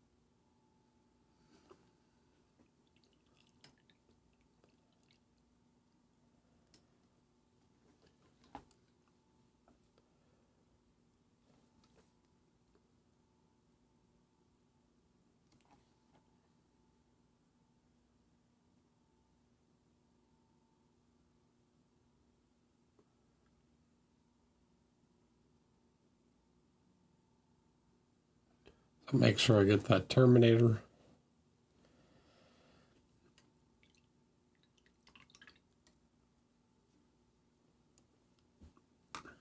Okay, I want to zoom out for a second so I can kind of get a better look at them.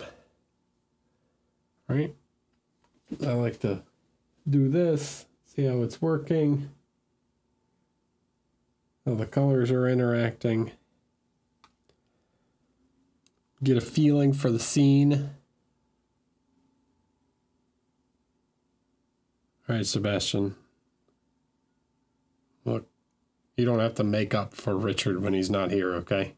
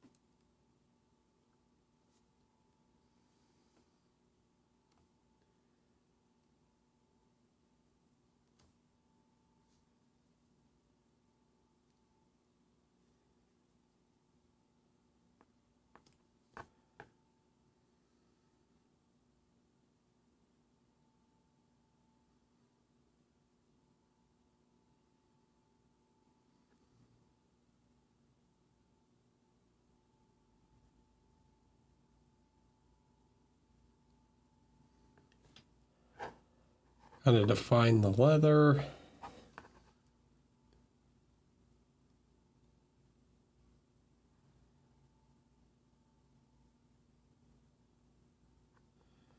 So another big thing is going to be like the leather should not be as bright. The, I can't make the leather as bright as the skin. It's not a thing. Uh, so I have to be careful with how intense I make that.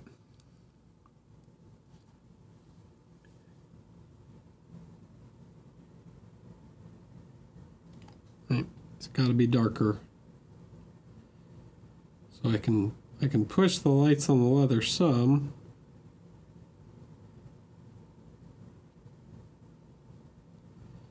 But it's still got to be, in the end, it's still got to be a darker tone than the than the skin.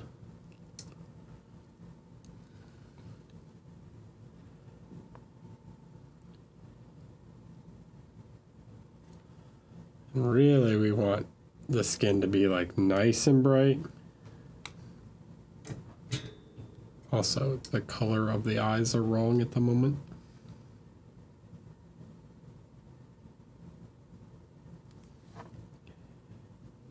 They are too white. They're too neutral.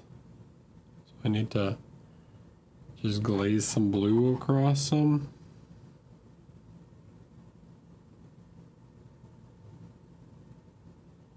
Get them a little closer to that color scheme we're going for.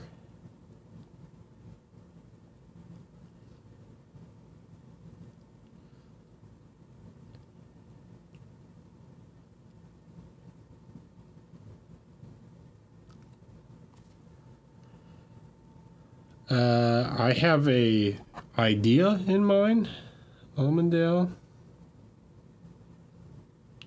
I have I have like uh,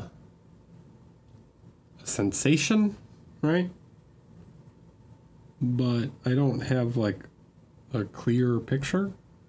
I just kind of go until I get, and then I reach a point that I want. Uh, for more complex, like on a normal figure where I'm not trying to do like a bunch of fancy lighting and playing with like specific color tones and all these things that really mess with the the like look, right? Like I'm dealing with two opposing light sources. Uh, this is more complicated than, than normal. So here I have like a reference, but I don't have like a specific color I don't have recipes or anything, so I'm searching for the values in light to get to where I want the figure to be.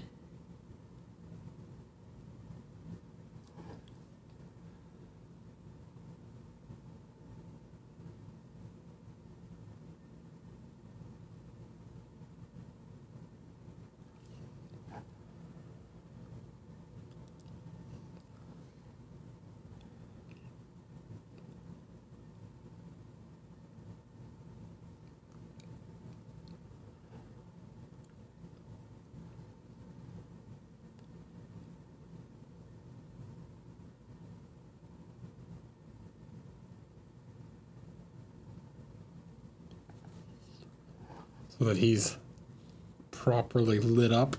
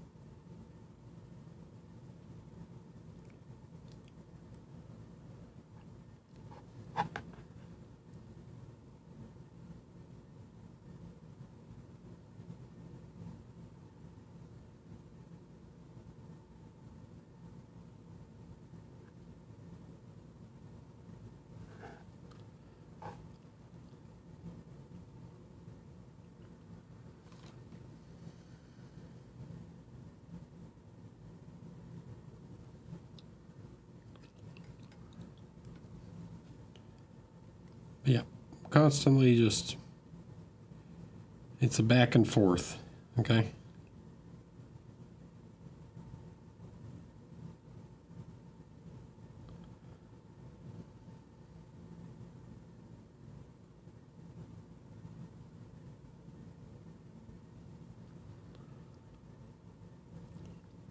Push and pull the color until I get it where I want it to be.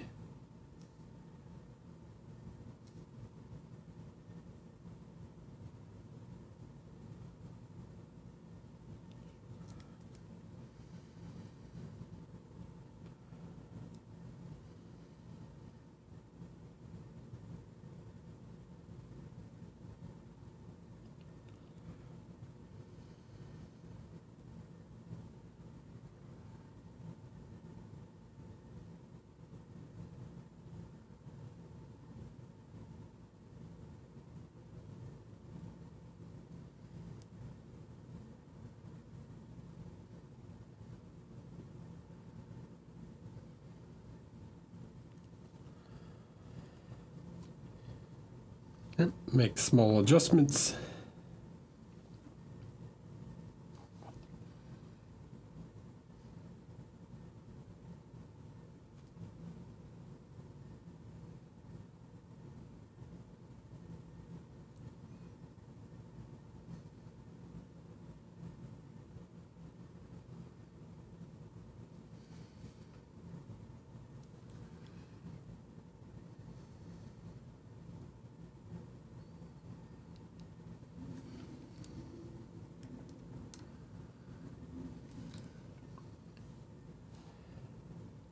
And let's see. The torch is really like directly over his arm, so it's like right here.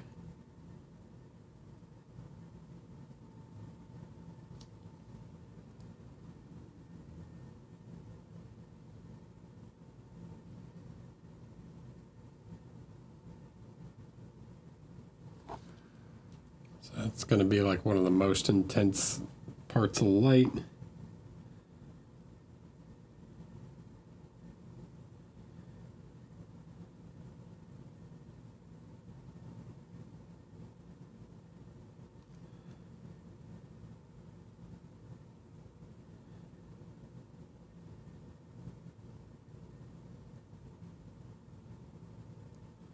That might be as far as I push the uh, the light on him, right?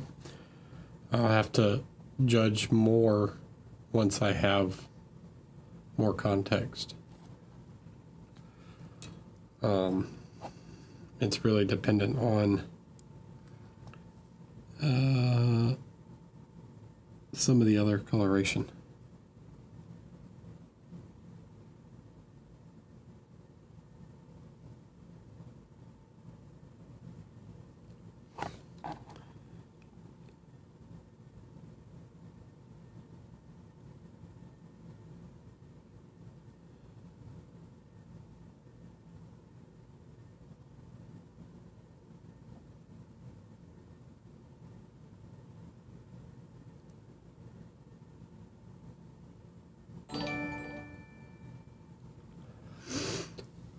Chaotic painting, hello.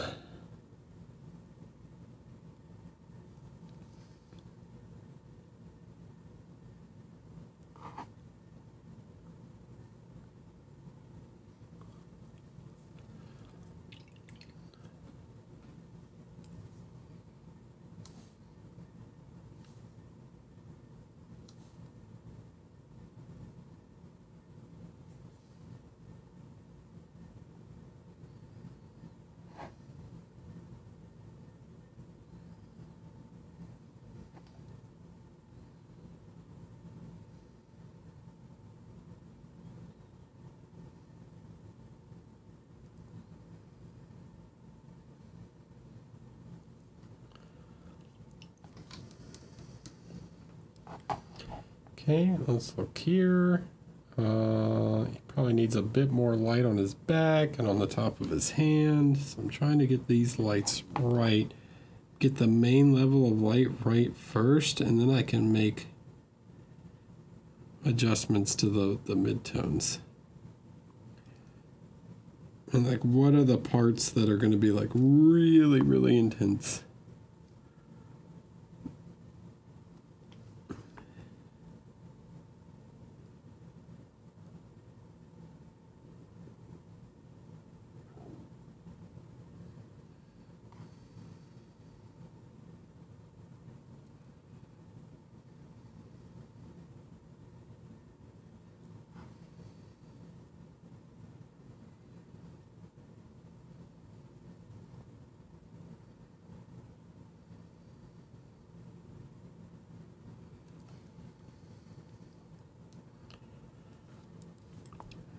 Mean, I don't paint all of Joaquin's models, but I paint a lot of them. I would have, you should have expected that this one was going to happen at some point.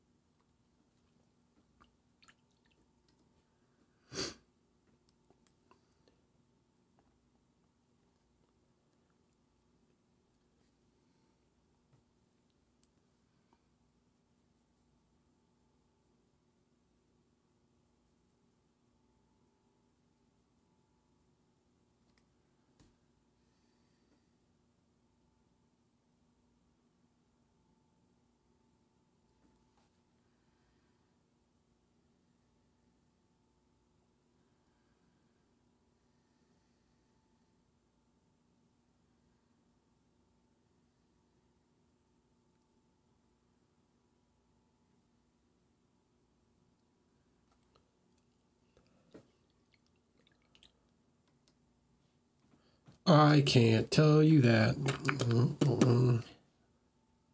Sorry, Mad for Minis. Not answering that one.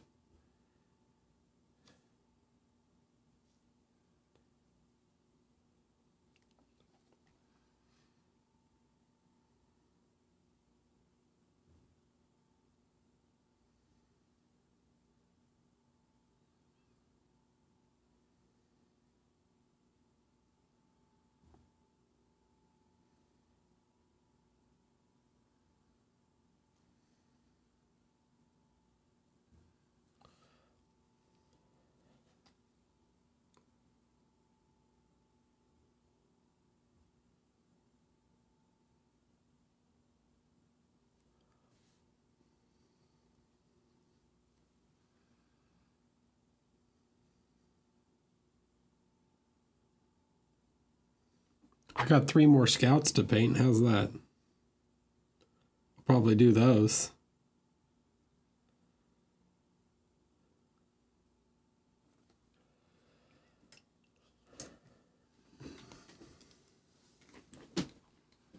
Not on stream or anything. Just gonna do them.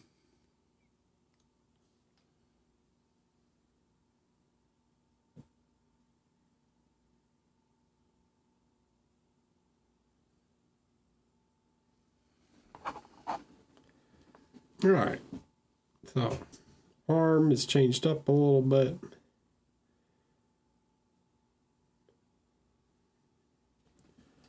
probably still push the cloak a little more in a couple spots. Oh, they will. But what's hilarious is they don't even have a codex now.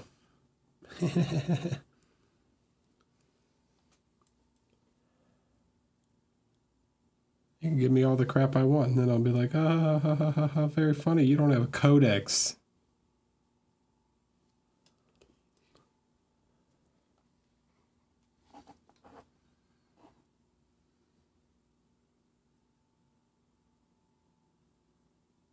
And actually, it wasn't the lore nerds that was that were giving me issues. It was the uh, it was the rules people that wanted to be like, you can't play Scouts in 10th edition 40k.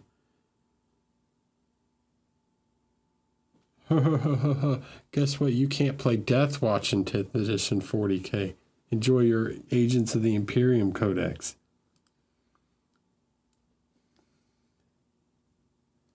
Also, I'm playing Kill Team, not 40k. So I do what I want.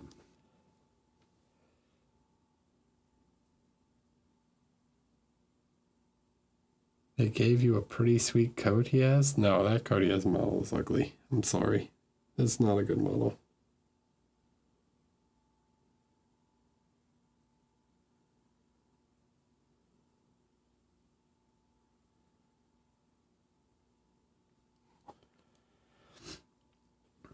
I disagree.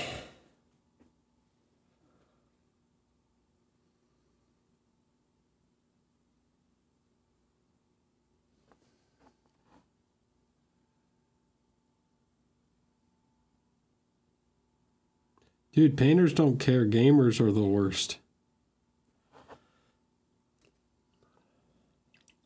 Painters are like, just have fun with your models. Who cares, you know?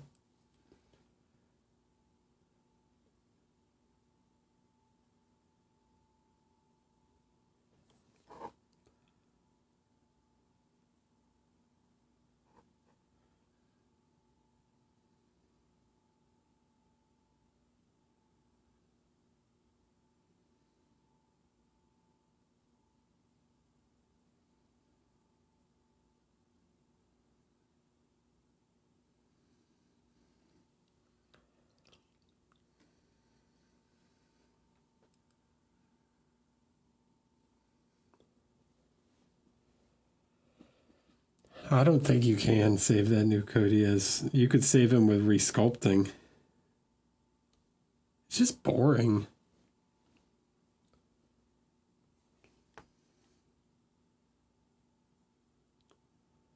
And in general, I tend to think that their new sculpts are really nice.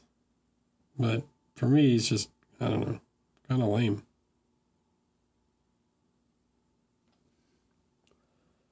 Just a boring figure. All right, let's look at his teeth. He needs to have. Uh,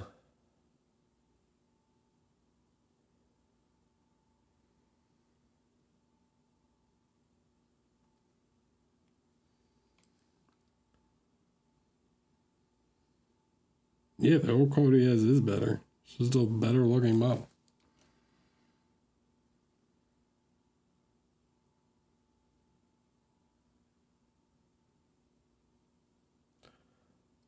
Oh, oh, I was off camera. Whatever. Anyways, just trying to add a little shine to his teeth. A little spark.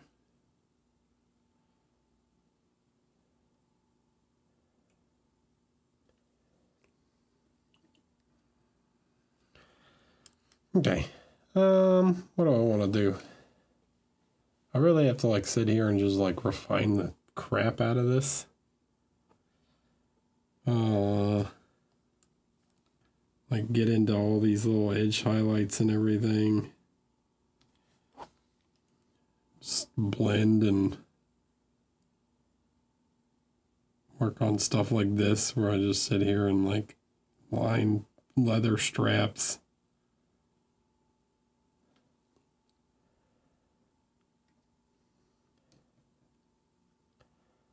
Got some micro volumes on his face to fix.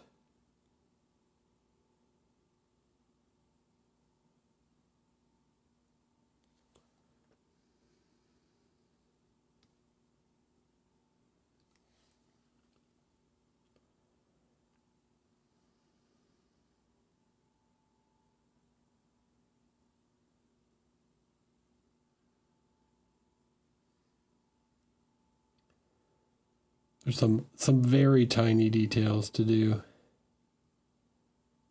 But in general, I think the color, I'm happier with the color now. You kind of see the difference on him. He's like not quite as green as he was. It's a little closer to gray. He's like a little green in the midtone, but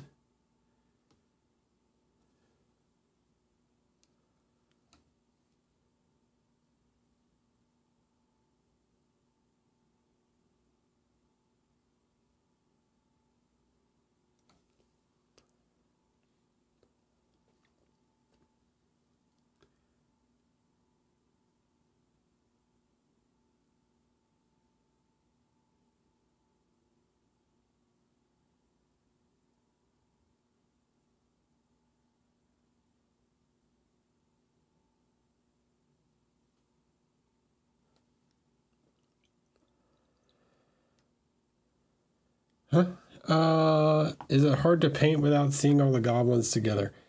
Yes, it is. Uh, this is why I have like multiple. That's why I have reference reference photo. Um, what will probably happen is I will assemble, like I'll paint kind of to this level most of them, and then I'll put them together, and then I can like kind of do finishing touches on them like all together so that they're like everything's uh, lined up. So the next big one is to do these two guys. Uh, and when I say like put them together, uh, like I won't glue it. I'll just like dry assemble it because it's all like in sub assemblies. So I will I will like dry assemble it and then the background is going to help a lot too because it's going to add a lot of context. Uh, and then yeah, we'll we'll get like a better idea for how everything's going. But anyways, I think I'm probably gonna call. I know it was slightly shorter, but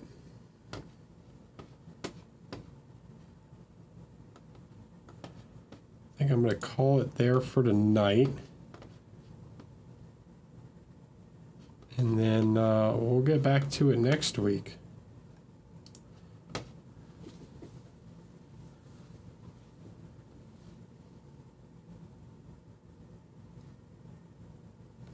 No, I've never painted my work surface a color. I mean, I have paint like you're talking about like my work surface like this? No.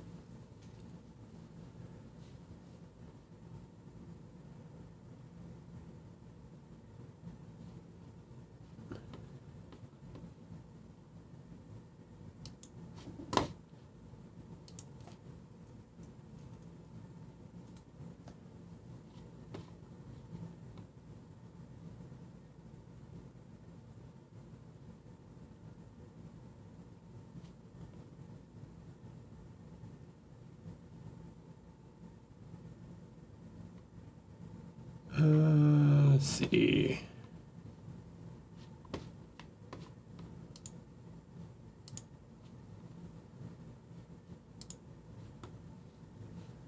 Who doing what now? Just nobody.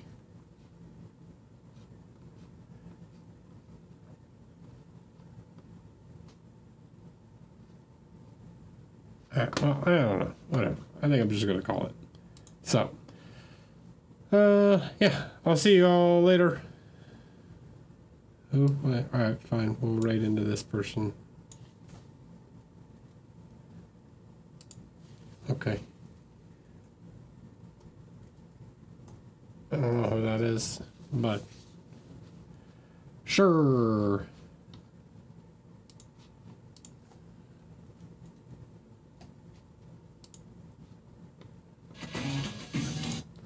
All right, guys. Uh, thanks for hanging out. Have a great rest of your week and have a good weekend. And I will talk to you all later. Bye.